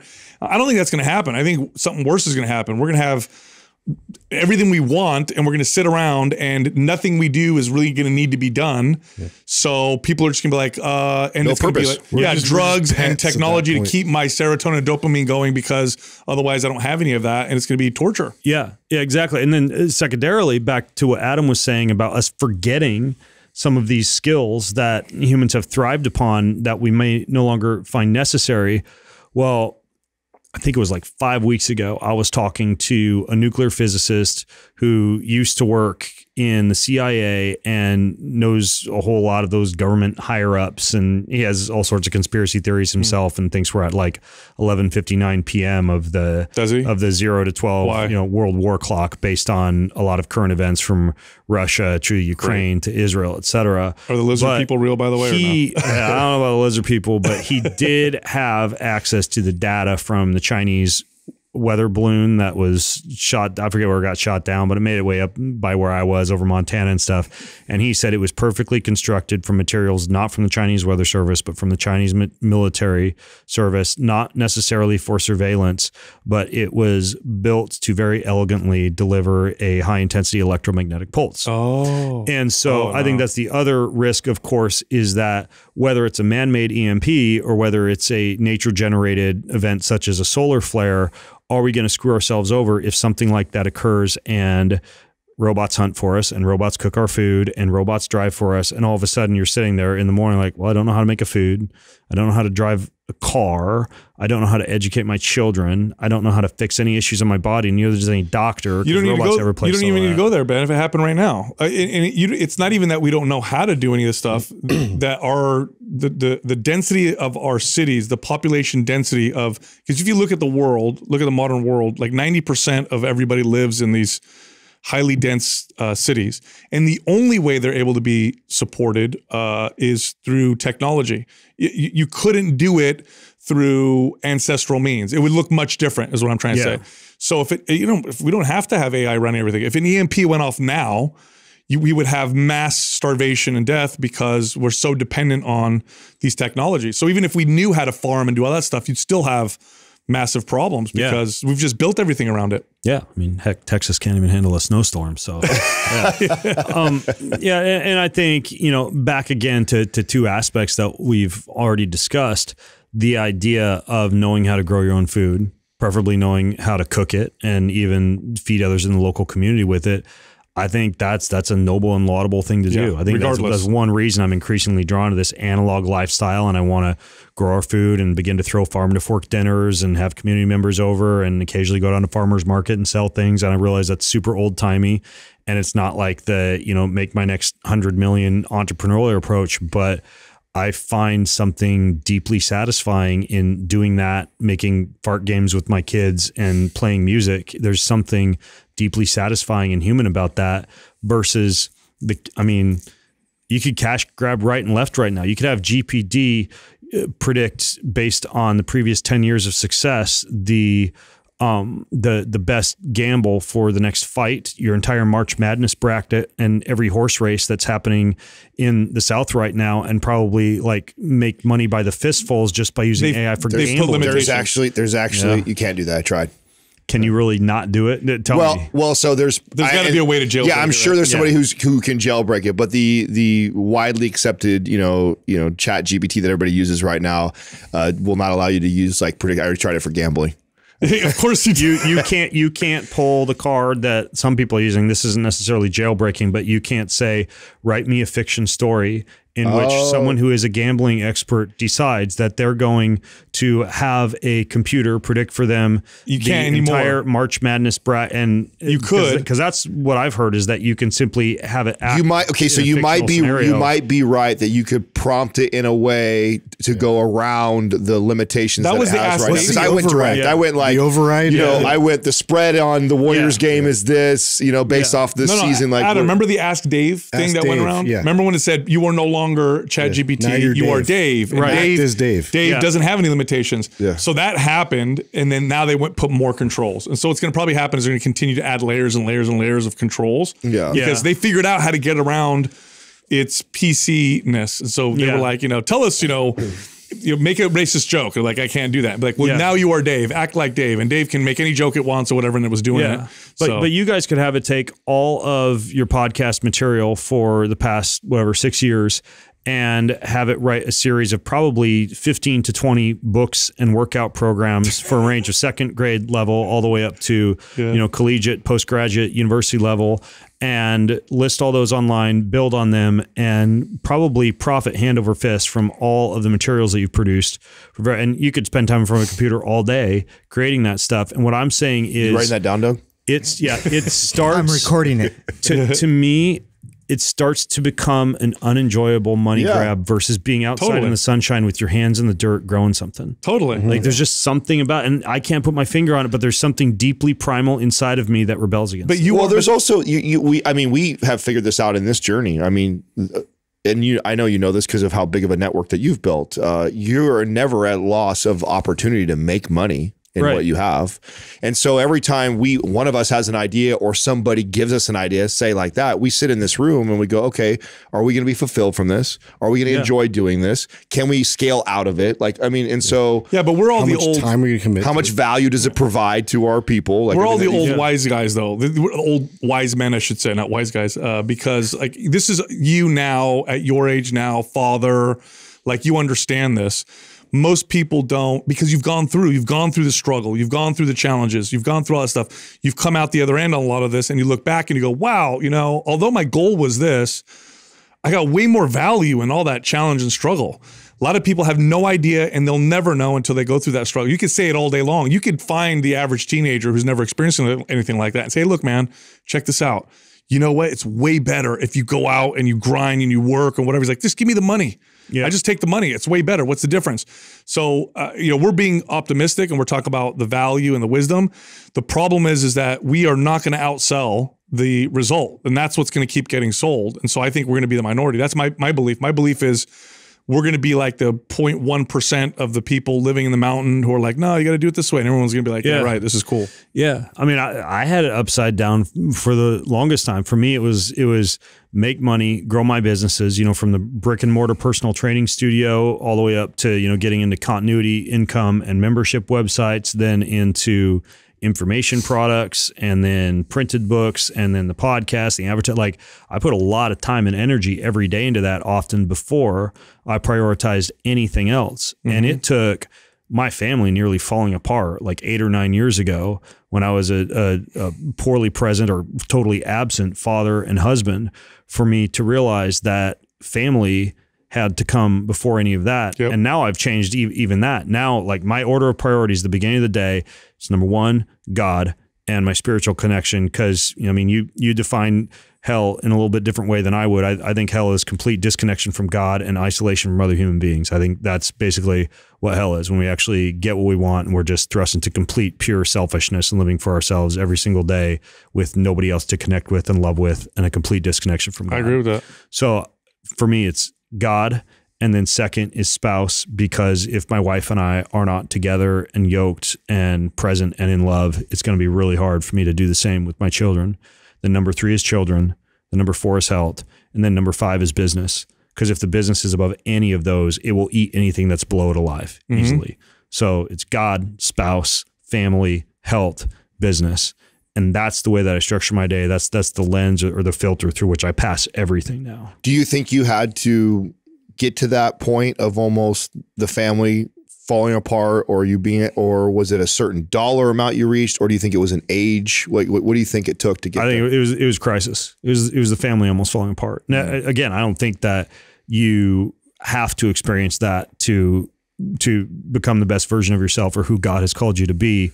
Hopefully, my sons learn from my mistakes, and I don't want my sons to have to think, "Oh, you go through this period of life where you're just like you're super shitty for a period of time, and you're like rebellious in college, and you go through these periods of time with drinking and drugs, and you have a bunch of relationships fall out, and then you know by the time you're 30, you kind of settle down." No, I want them to just like be amazing from you know the time they're 13 Yeah. 14 15 on forward i don't want to give them this false premise that you know dad went through all this shit and you are too but it's going to come around and you'll have these hard things that eventually you know bring you around it's like no i want to learn that from day one mm-hmm. Yeah, that's what we want, but unfortunately, we're all humans, and it- it's almost like we, you can't learn certain lessons unless you you, you go through the darkness. I, that's what I firmly believe, and as shitty as that is, I just think that that's true. Now, the, the good side of that is knowing that when you're in those dark places, yeah that the, at the other end is something uh, far better than you ever had before. And all of us are going to go through it. I don't think you can protect yourself. I really don't. I don't care how much money you have and how great your life is.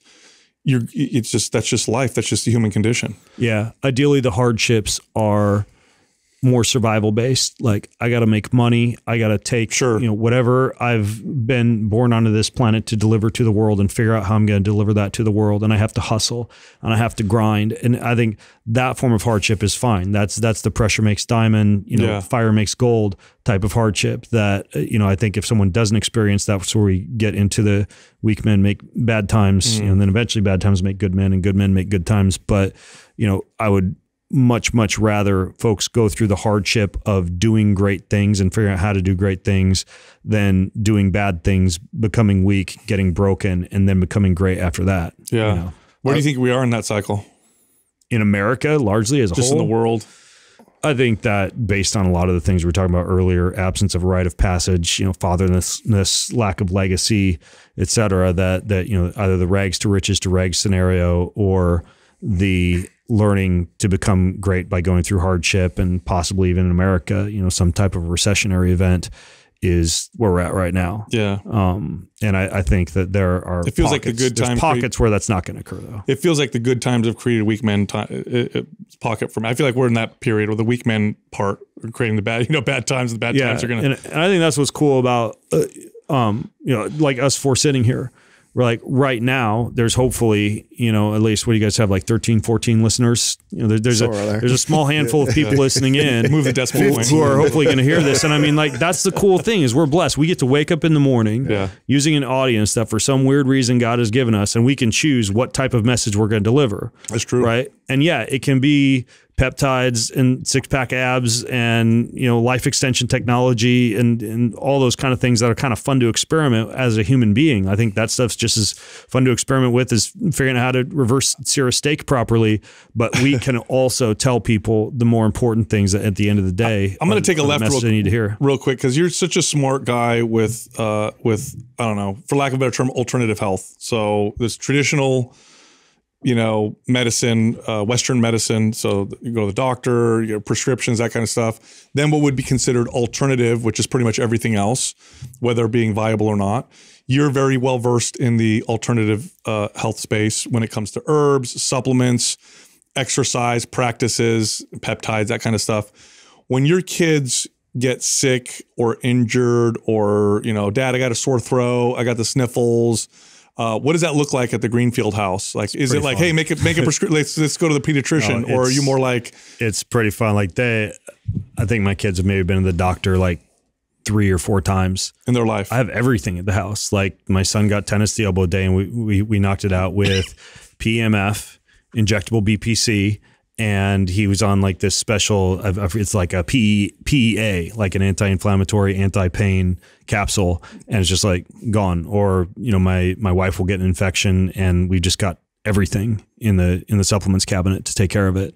Um I mean, sleep. Like we got back from Hawaii, and my son River, who tends to be towards the anxious side, he was having trouble sleeping. I mean, and he got a mega dose of melatonin. He got um, inositol, and he got full spectrum CBD. He slept like 12 hours and rest of the week he, he was great. I mean, Regulated. like anything like that, I've got every tool in the, so it is kind of fun. And I actually really like that when my friends come over and any, anytime they have an ache or a pain, it's actually super fulfilling for me. Maybe it's like the little side of me that used to want to be a doctor. I was just going to say that yeah. was what you wanted to do. Everything's around the house and you're using it on yourself. Like all this stuff I do to myself daily. And it's cool because I'm like, oh, I feel great. I can crush the day. and get way more done than the average person. I don't get sick. I sleep great.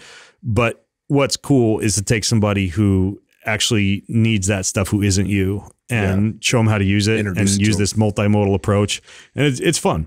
That's cool. What, were, what, were, the reasons they went to the doctor when they finally went? Was it just like okay? Oh gosh, like, I don't even remember. Like we need yeah, antibiotics for this. Yeah, I mean there there was one instance like a cavity at the dentist. I think I don't I don't even remember. But I mean it's it's barely anything that they need to go to the doctor that's for. awesome. You know, Any, go ahead. I want yeah I want to I want to stay on the topic with the, your boys and uh, selfishly I love talking to you about uh, money and finances. And your boys have the last time we talked, you know, they they're building these businesses, they're starting to make money. So talk to me about how you're educating them around finances, how that's changed even since the last time we've talked because I know they've already got a pretty good relationship with money and saving. Like I yeah. imagine it's starting to compound and they've probably got a nice little savings built yeah. up. Like how are they spending? How are you teaching? Like tell me about that.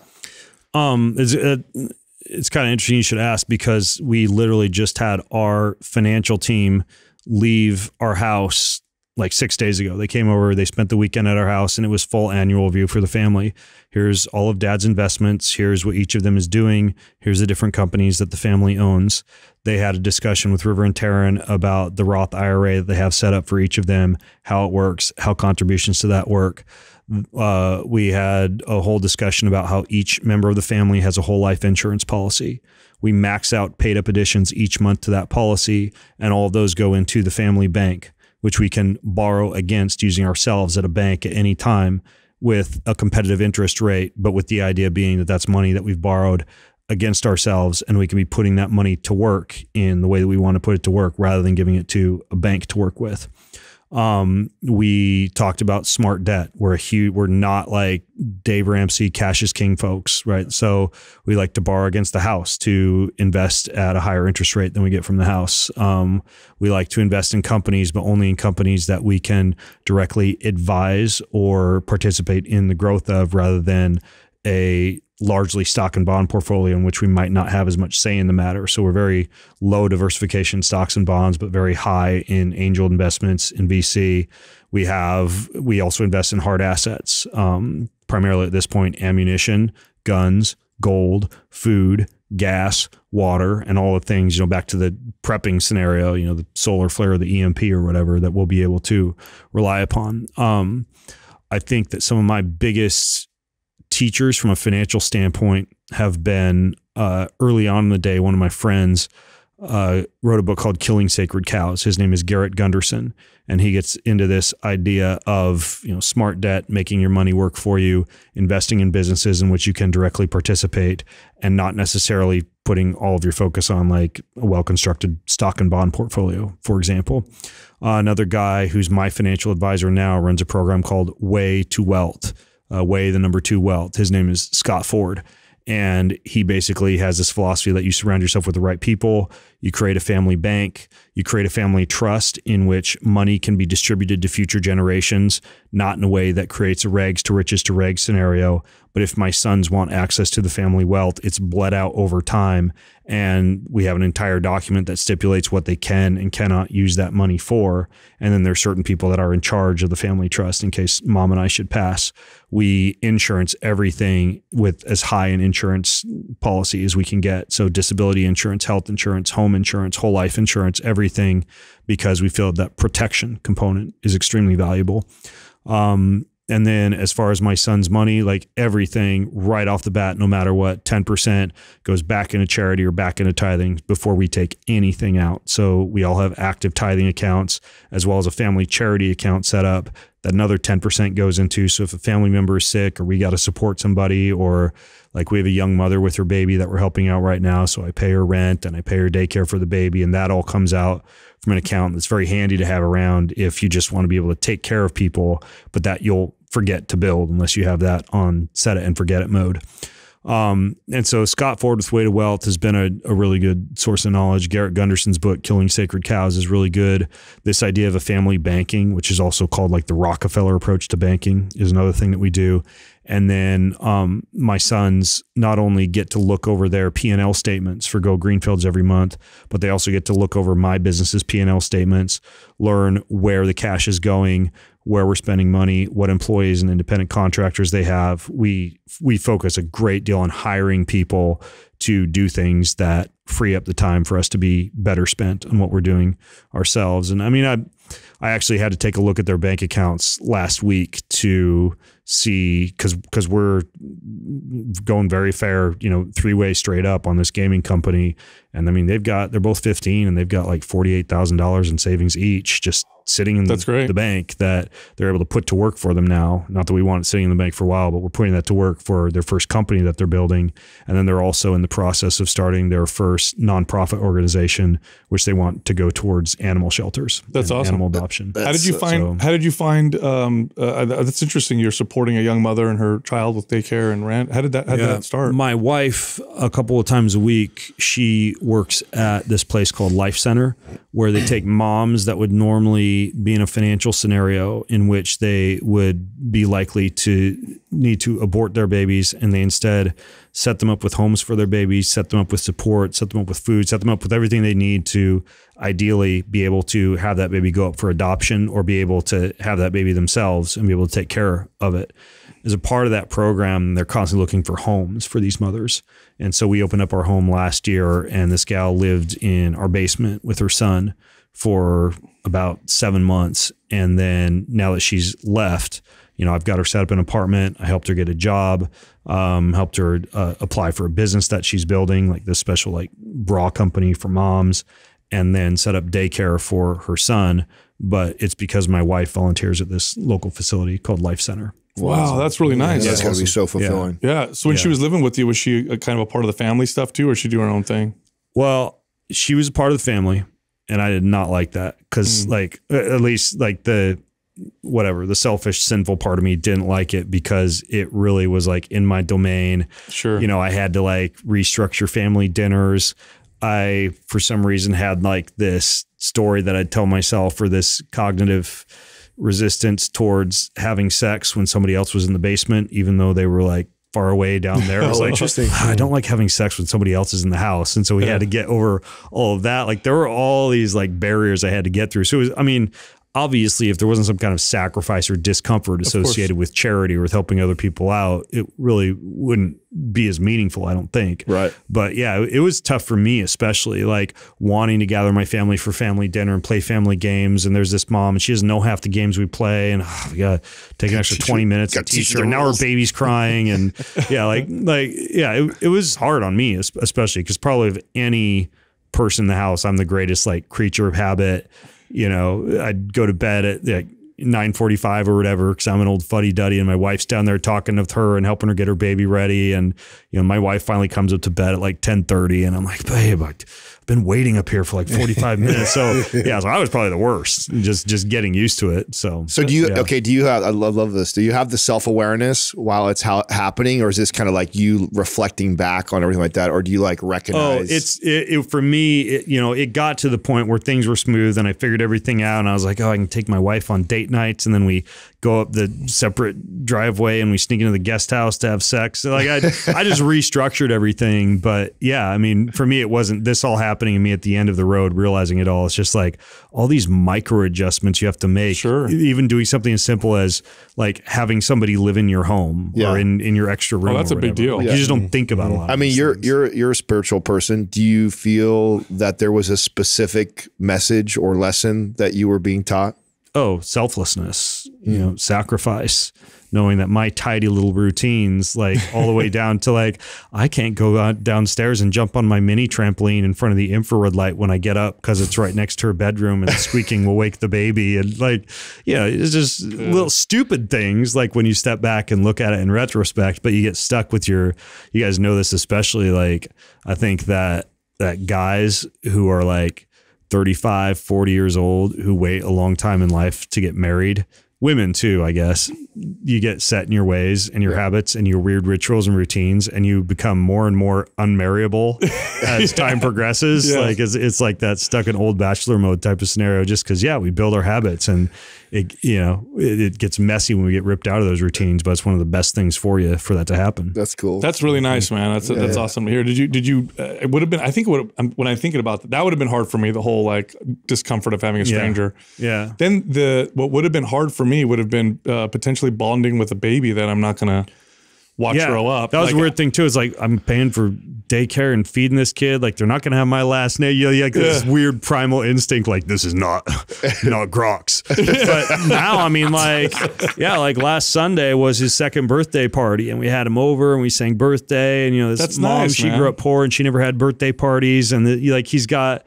I don't even know what a godfather is, but it feels like we're almost like his god family now. And it's like this kid that we can take care of that hopefully is going to grow up to be a better person and be able to be influenced in a positive way by us and in a far, far more meaningful and personable way than just like an average kid who might come over and play with my sons or whatever. So, yeah, it is kind of cool in ways that I hadn't anticipated. Boy, that's a big deal because giving money is one thing, but actually doing and being a part of like that's a much bigger deal. Because a lot of people, especially people with money, can just be like throw money at an issue. Oh, I feel better now.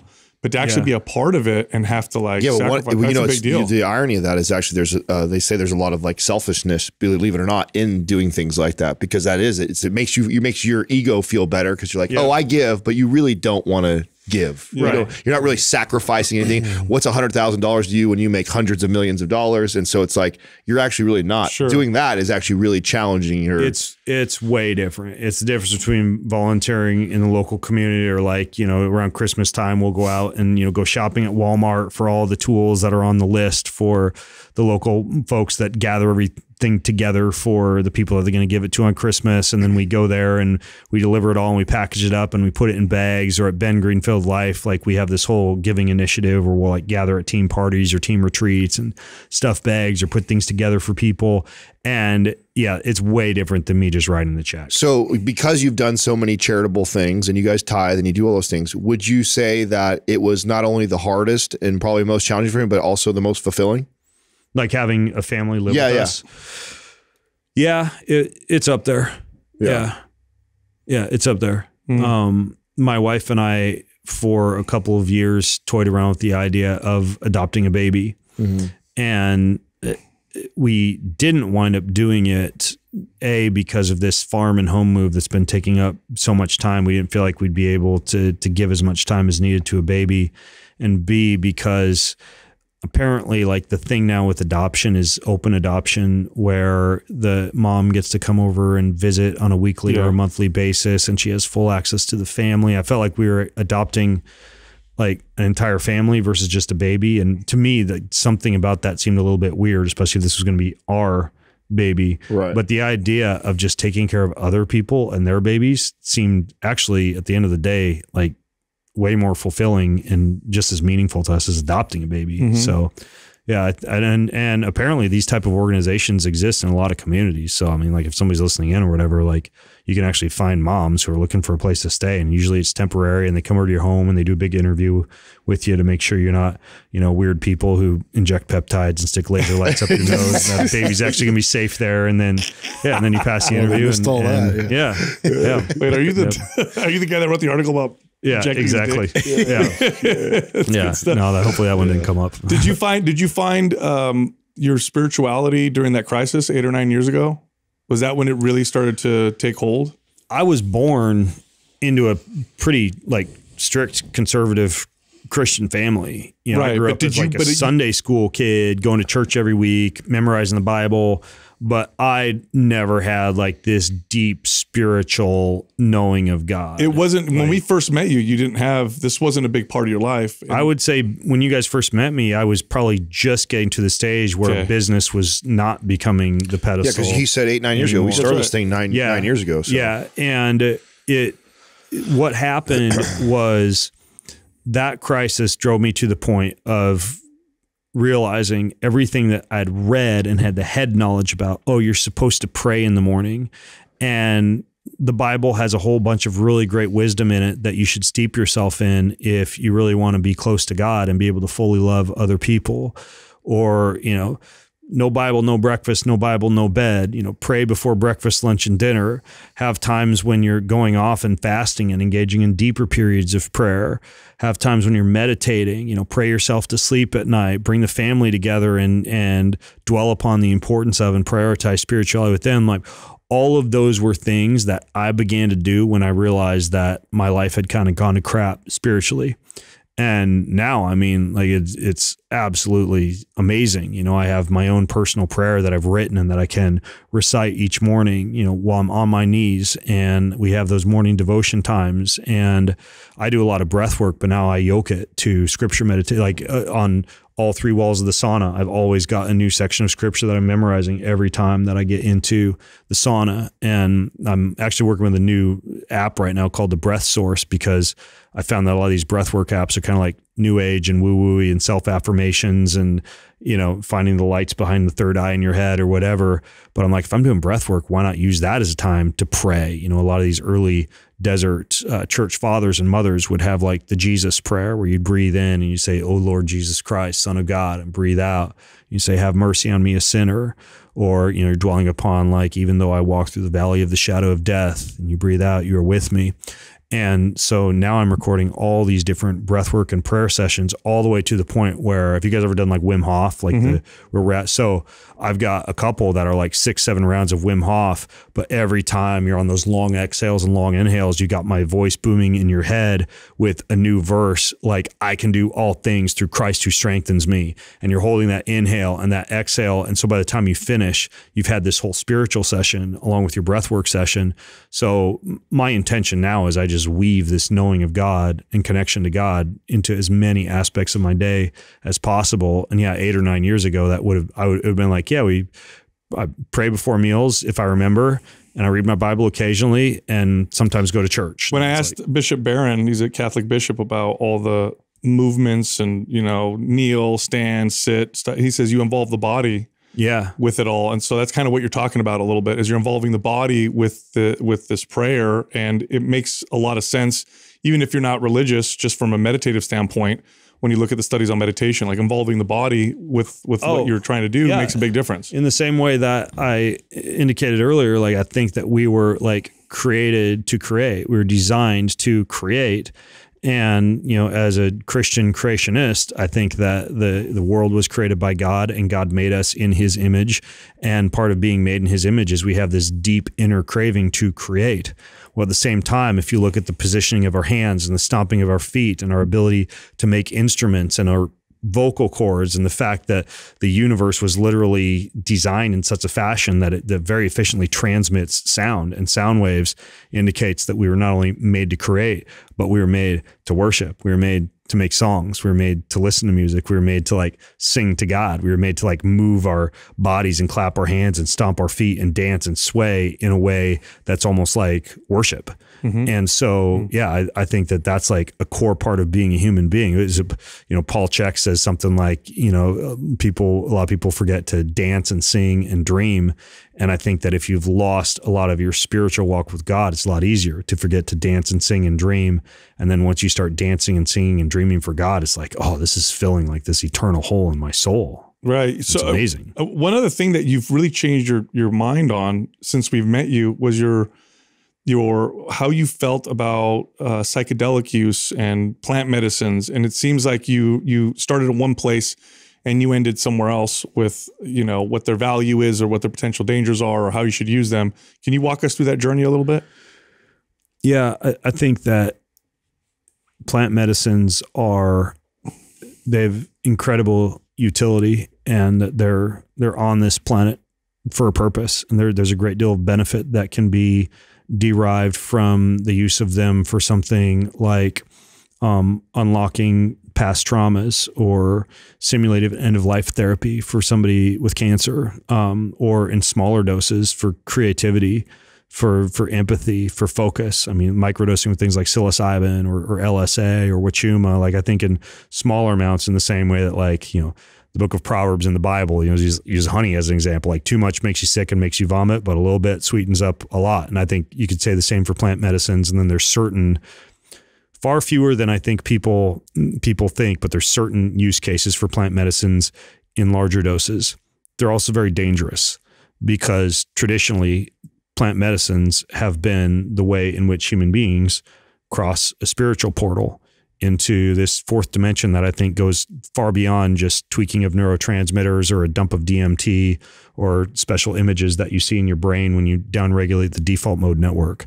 I mean, when people talk about entities and they talk about visions and they talk about voices and they talk about these deeply spiritual experiences, all the way down to the point where, you know, most atheists who have done plant medicine, after they've done it, they say, Oh, I do believe that there is a spiritual world. I do believe that there is a God.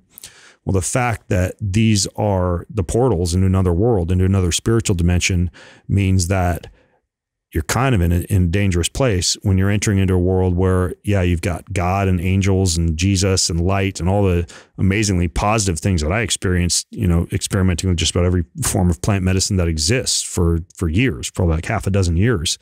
But the problem is there's also demons there's you know there's there's satan there, there's all sorts of other weird entities that you experience and for every nine people that have an amazing experience with plant medicine there's like one person who winds up with might be classified in you know the DSM manual as a psychiatric disorder like bipolar or schizophrenia or something like that, but that I believe is some form of an entity possession.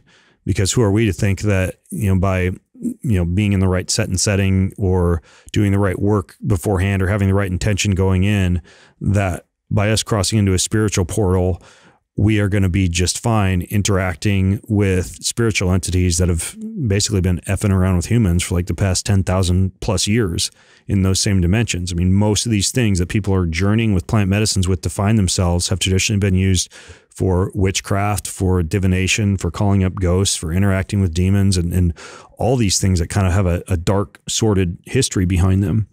Now, if you look at the word pharmakeia, in the Bible. And this is where, for me as a Christian, I, I really had that moment where I was like, oh, th there's great benefit in these things. But you I, wrote articles like, about this. Yeah. Yeah, that's what I read. Like pharmakeia means divining with the gods via the use of plants and drugs. Like specific, that is something that's even set apart from alcoholism. Like alcoholism is lack of sobriety or temperance, whereas pharmakeia is using drugs to go into a spiritual portal and say, Oh, what would you have for me to do? Or what do I need to see now? Or what's the next step in my life? And it can be a really dangerous place, especially for someone who is susceptible to influence spiritually or and you know by saving grace i think that if you're a christian in those portals you're a lot of times protected because you've got the the good spirits on your side like spiritual armor yeah but then at the same time like but the Bible, and I claim to be a Christian, the Bible says you're not supposed to use drugs and plant medicines to divine with the spiritual realm. So I've kind of got no choice here. It's like God said not to do it. And I said, I believe in God and I'll follow his law. And upon my studying of the Bible, it refers to pharmakeia as that. So I still have psilocybin and LSD and wachuma and DMT capsules and all sorts of stuff around the house. Um, it's in a far more protected place than it used to be, in a far less convenient place because I know that in high doses, or if my sons were to take some in high doses or something that like that, you're crossing into a spiritual portal. And so I only use that kind of stuff now for the purposes of microdosing. I think that there's a possibility that it could be used for end of life therapy or for down regulating the default mode network to the point where you can deal with trauma and things like that.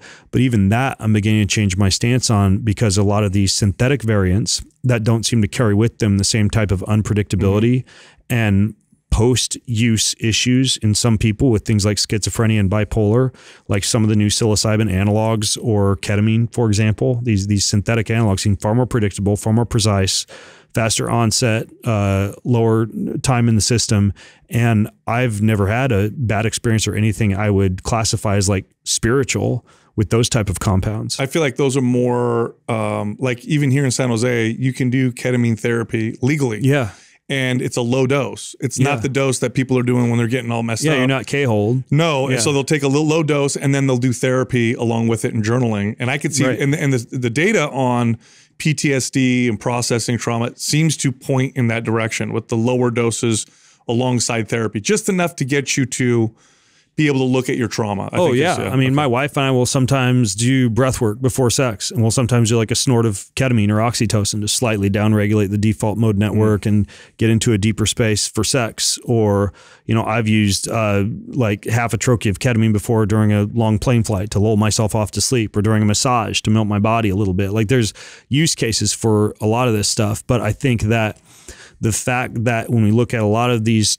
traditional plant medicines or fungal derivatives like LSD and their use in previous history, everything from, you know, like, um, uh, what do you call it? Uh, when you're traveling across different portals, not distance healing, astral. but, um, yeah, astral travel yeah. that that's used by witches or a lot of the shamanic ceremonies with some of these other drugs. Like their, their purpose in many cases is to divine with the spiritual world, which I think is a, a dangerous thing mm -hmm. to be doing. And I think that also you have to take into account the interests of the person who is administering or serving these medicines. And I've talked to many people who have worked with shamans who, for example, have them under their possession almost, like going back for their 38th ayahuasca trip yeah. from a commercial standpoint because they've saved hair or skin from this person. They have the ability to be able to almost like possess them as a human. And so there's oh. there's all sorts of weird things weird. that like it's a dangerous world. I, I think that my only real acceptance for the use of something like higher dose psilocybin or LSD or wachuma or ayahuasca or something like that would be in a very tightly controlled set and setting by someone who was demonstrated to be extremely mental stable, mentally stable with someone who is extremely trustworthy in that room. And you treat it almost like a surgery and not like a ayahuasca yeah. vacation to Peru with some shaman whose lineage you might be unfamiliar with in a set and setting where you're getting exposed to spiritual entities that may not have your best interest in mind. Yeah, I would agree with you 100%. I think anything with that much power, you got there's double edged. 100%. Yeah. And, yeah. And, and, look, the I'm like all in the, to the data on how they're treating trauma with some of these things. Mm-hmm. And they're not using these crazy, ridiculous doses that people are doing on their own. They're just not. And yeah. And it's along with the therapist. Yeah. And I used to, um, I forget if you guys have, have had a conversation with me about this or not, but I used to sometimes use that stuff for like business breakthroughs right. and like because mm-hmm. you just think in different ways. Sure. But I found that when you combine microdosing with breath work, you can breathe yourself into that same state. Like I can take a microdose of psilocybin, do an hour of holotropic breath work, sit with the journal for the half hour after that, and have my mind open to creativity in the very same way yeah. as if I'd taken like a heroic dose of psilocybin and been flat on my ass for eight hours, you know, speaking into a voice recorder or whatever. Yeah. You could get that. You could get that experience from fasting. You yeah. get that experience from being with people who spark that creativity. Um, I experienced that with these guys.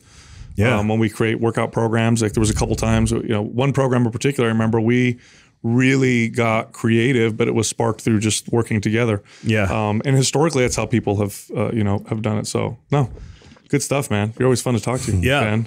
I appreciate your honesty too. Yeah. Very open and honest every time we that talk. That was fun. So what are we gonna do for this? Peptides or LSD? Huh?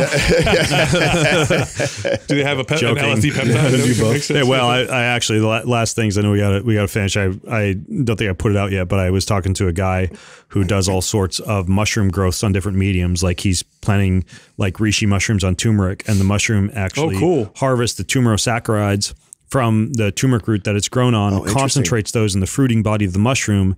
He'll then powder that and have like a reishi turmeric mushroom extract, or he'll do something like chaga on ginger and have like an immune supporting compound that Wild. supports the well, gut. Mushrooms having, suck up whatever they're on top. Yeah, of. by having yeah. yeah. but I didn't realize. I always thought mushrooms you grow on oat or rye or wood poop. or whatever. then you just harvest the mushroom, yeah, or poop.